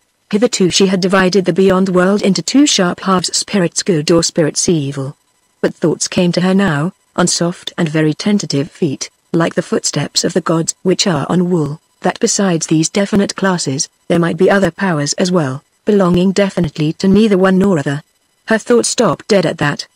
But the big idea found lodgment in her little mind, and, owing to the largeness of her heart, remained there unejected. It even brought a certain solace with it. The failure or unwillingness, as she preferred to state it of her God to interfere and help, that also she came in a measure to understand.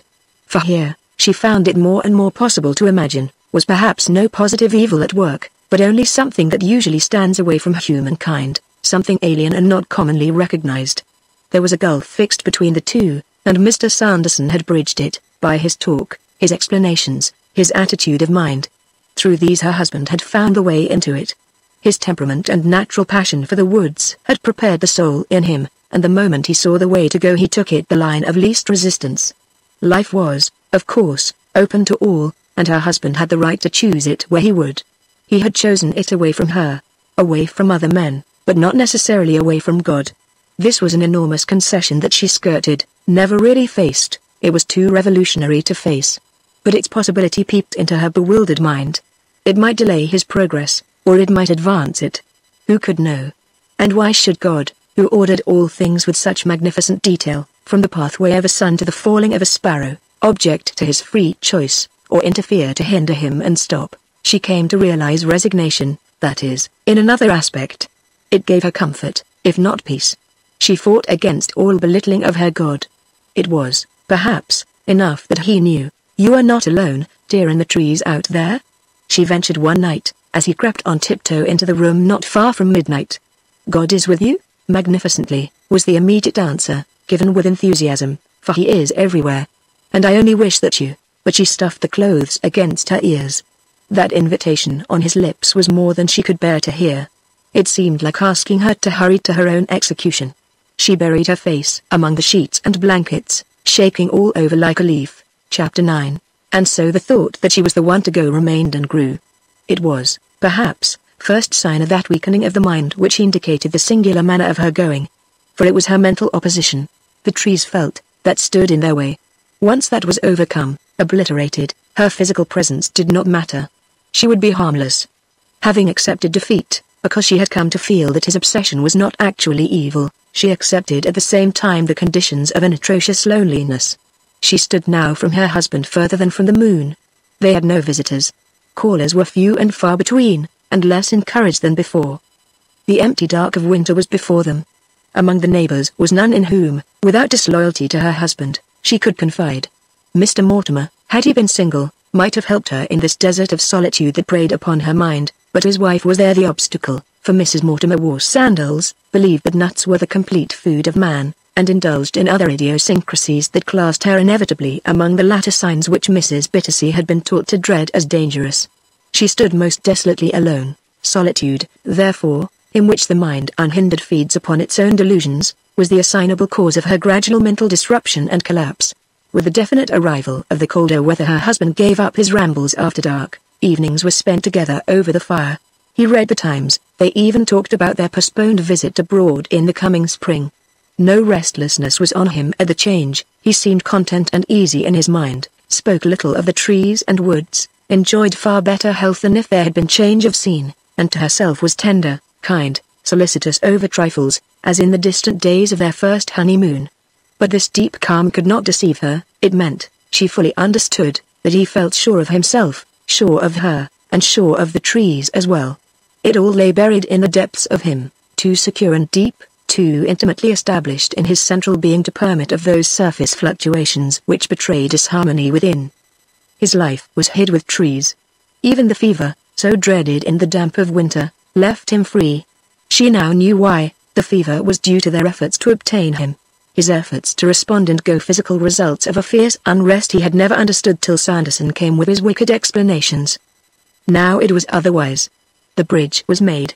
And he had gone, and she, brave, loyal, and consistent soul, found herself utterly alone, even trying to make his passage easy. It seemed that she stood at the bottom of some huge ravine that opened in her mind, the walls whereof instead of rock were trees that reached enormous to the sky, engulfing her. God alone knew that she was there. He watched, permitted, even perhaps approved. At any rate he knew, during those quiet evenings in the house, moreover, while they sat over the fire listening to the roaming winds about the house, her husband knew continual access to the world his alien love had furnished for him. Never for a single instant was he cut off from it. She gazed at the newspaper spread before his face and knees, saw the smoke of his cheroot curl up above the edge, noticed the little hole in his evening socks, and listened to the paragraphs he read aloud as of old. But this was all a veil he spread about himself of purpose. Behind it he escaped. It was the conjurer's trick to divert the sight to unimportant details while the essential thing went forward unobserved. He managed wonderfully, she loved him for the pains he took to spare her distress, but all the while she knew that the body lolling in that armchair before her eyes contained the merest fragment of his actual self. It was little better than a corpse. It was an empty shell. The essential soul of him was out yonder with the forest further out near that ever-roaring heart of it.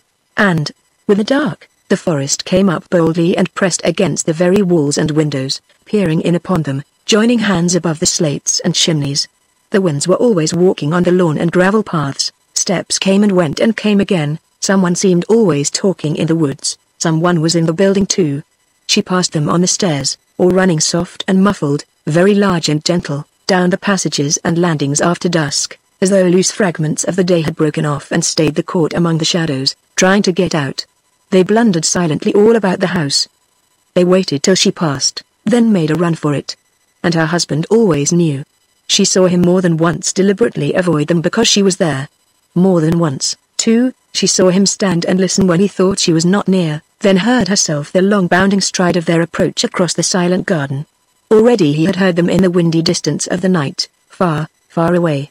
They sped, she well knew, along the glade of mossy turf by which she last came out. It cushioned their tread exactly as it had cushioned her own. It seemed to her the trees were always in the house with him, and in their very bedroom. He welcomed them, unaware that she also knew, and trembled. One night in their bedroom it caught her unawares. She woke out of deep sleep and it came upon her before she could gather her forces for control. The day had been wildly boisterous, but now the wind had dropped, only its rags went fluttering through the night. The rays of the full moon fell in a shower between the branches. Overhead still raced the scud and drag, shaped like hurrying monsters, but below the earth was quiet. still and dripping stood the hosts of trees. Their trunks gleamed wet and sparkling where the moon caught them. There was a strong smell of mold and fallen leaves. The air was sharp heavy with odor, and she knew all this the instant that she woke, for it seemed to her that she had been elsewhere following her husband as though she had been out. There was no dream at all, merely the definite, haunting certainty. It dived away, lost, buried in the night. She sat upright in bed. She had come back. The room shone pale in the moonlight reflected through the windows, for the blinds were up, and she saw her husband's form beside her, motionless in deep sleep. But what caught her unawares was the horrid thing that by this fact of sudden, unexpected waking she had surprised these other things in the room, beside the very bed, gathered close about him while he slept. It was their dreadful boldness herself of no account as it were that terrified her into screaming before she could collect her powers to prevent. She screamed before she realized what she did day long, high shriek of terror that filled the room, yet made so little actual sound. For wet and shimmering presences stood grouped all round that bed. She saw their outline underneath the ceiling, the green, spread bulk of them, their vague extension over walls and furniture. They shifted to and fro, massed yet translucent, mild yet thick, moving and turning within themselves to a hushed noise of multitudinous soft rustling. In their sound was something very sweet and sinning that fell into her with a spell of horrible enchantment. They were so mild, each one alone, yet so terrific in their combination. Cold seized her. The sheets against her body had turned to ice. She screamed a second time, though the sound hardly issued from her throat. The spell sank deeper, reaching to the heart, for it softened all the currents of her blood and took life from her in a stream towards themselves. Resistance in that moment seemed impossible. Her husband then stirred in his sleep, and woke. And, instantly, the forms drew up, erect, and gathered themselves in some amazing way together. They lessened in extent then scattered through the air like an effect of light when shadows seek to smother it. It was tremendous, yet most exquisite. A sheet of pale green shadow that yet had form and substance filled the room. There was a rush of silent movement, as the presences drew past her through the air comma and they were gone. But, clearest of all, she saw the manner of their going, for she recognized in their tumult of escape by the window open at the top, the same wide looping circles spirals as it seemed that she had seen upon the lawn those weeks ago when Sanderson had talked. The room once more was empty. In the collapse that followed, she heard her husband's voice, as though coming from some great distance. Her own replies she heard as well. Both were so strange and unlike their normal speech. The very words unnatural. What is it, dear? Why do you wake me now? and his voice whispered it with a sighing sound, like wind in pine boughs. A moment since something went past me through the air of the room. Back to the night outside it went. Her voice, too, held the same note as of wind entangled among too many leaves. My dear, it was the wind, but it called, David. It was calling you by name. The air of the branches, dear, was what you heard. Now, sleep again, I beg you, sleep. It had a crowd of eyes all through and over it before and behind her voice grew louder. But his own in reply sank lower, far away, and oddly hushed. The moonlight, dear, upon the sea of twigs and boughs in the rain, was what you saw, but it frightened me. I've lost my God and you I'm cold as death, my dear, it is the cold of the early morning hours. The whole world sleeps. Now sleep again yourself, he whispered close to her ear. She felt his hand stroking her. His voice was soft and very soothing.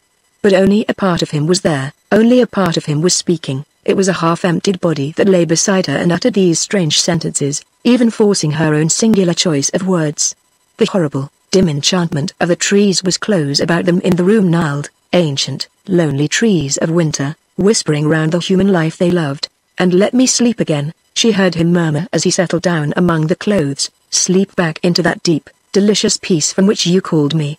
His dreamy, happy tone, and that look of youth and joy she discerned upon his features even in the filtered moonlight, touched her again as with the spell of those shining, mild green presences. It sank down into her. She felt sleep grope for her. On the threshold of slumber one of those strange vagrant voices that loss of consciousness lets loose cried faintly in her heart, There is joy in the forest over one sin of that. Then sleep took her before she had time to realize even that she was vilely parodying one of her most precious texts, and that the irreverence was ghastly and though she quickly slept again, her sleep was not as usual, dreamless. It was not woods and trees she dreamed of, but a small and curious dream that kept coming again and again upon her, that she stood upon a wee, bare rock by the sea, and that the tide was rising.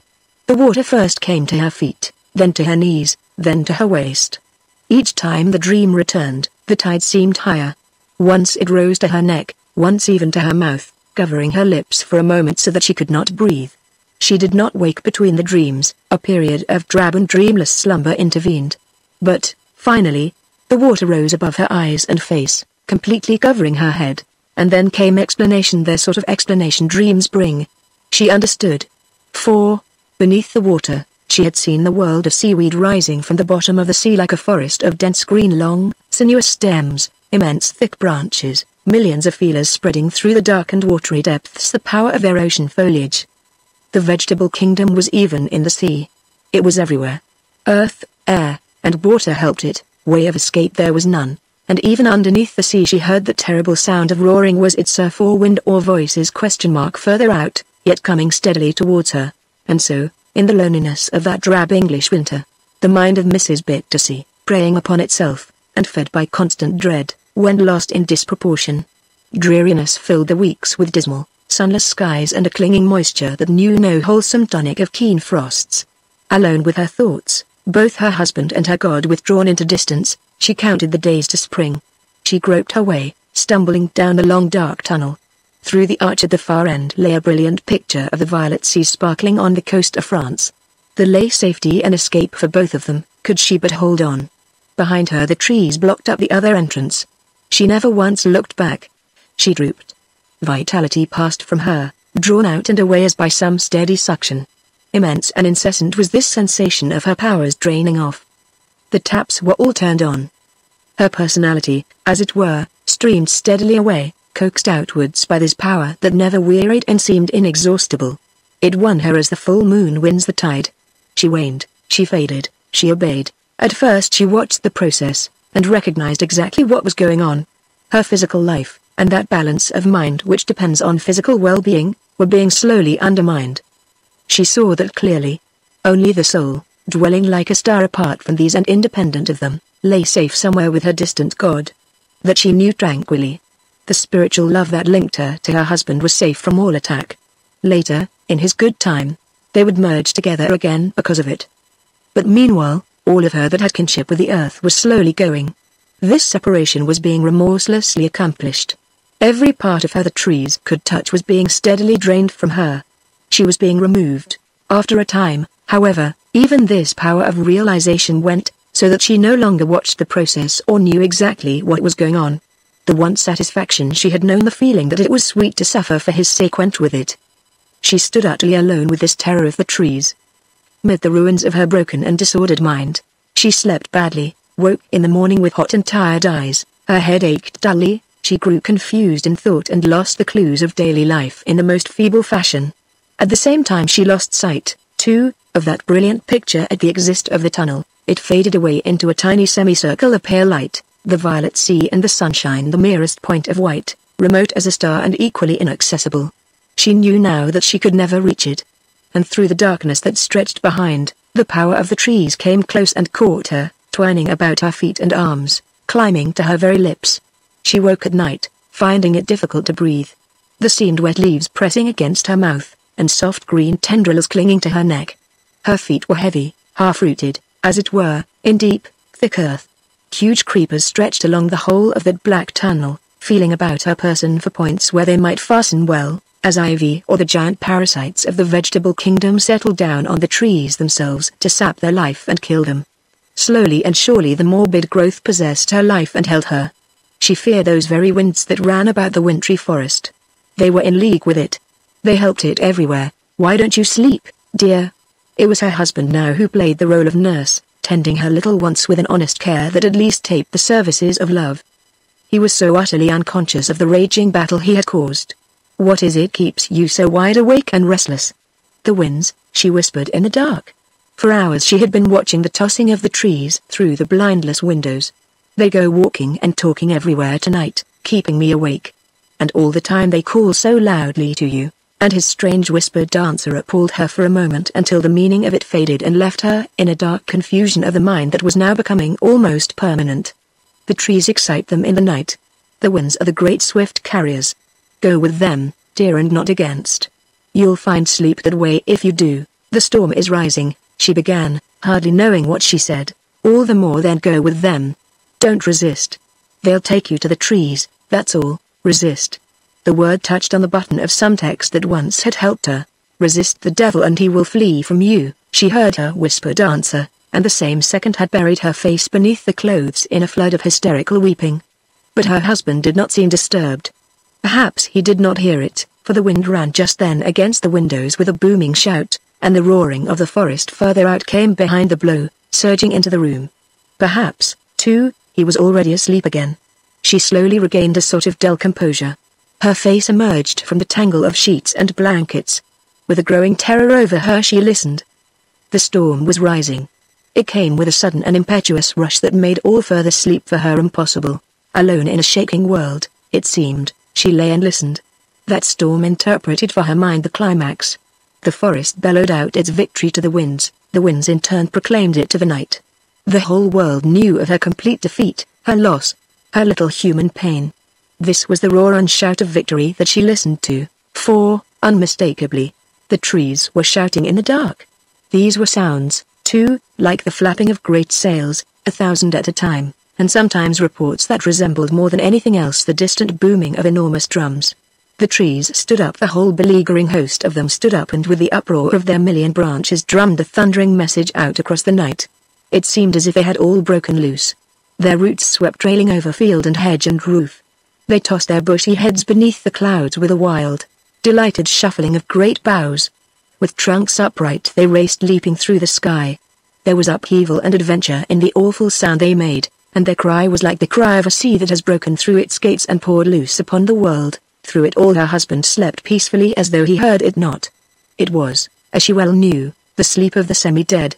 For he was out with all that clamoring turmoil. The part of him that she had lost was there, the form that slept so calmly at her side was but the shell, half emptied. And when the winter's morning stole upon the scene at length, with a pale, washed sunshine that followed the departing tempest, the first thing she saw, as she crept to the window and looked out, was their ruined cedar lying on the lawn. Only the gaunt and crippled trunk of it remained. The single giant bough that had been left to it lay dark upon the grass, sucked endways towards the forest by a great wind eddy. It lay there like a mass of driftwood from a wreck, left by the ebbing of a high spring tide upon the sands remnant of some friendly, splendid vessel that once sheltered men. And in the distance she heard the roaring of the forest further out. Her husband's voice was in it,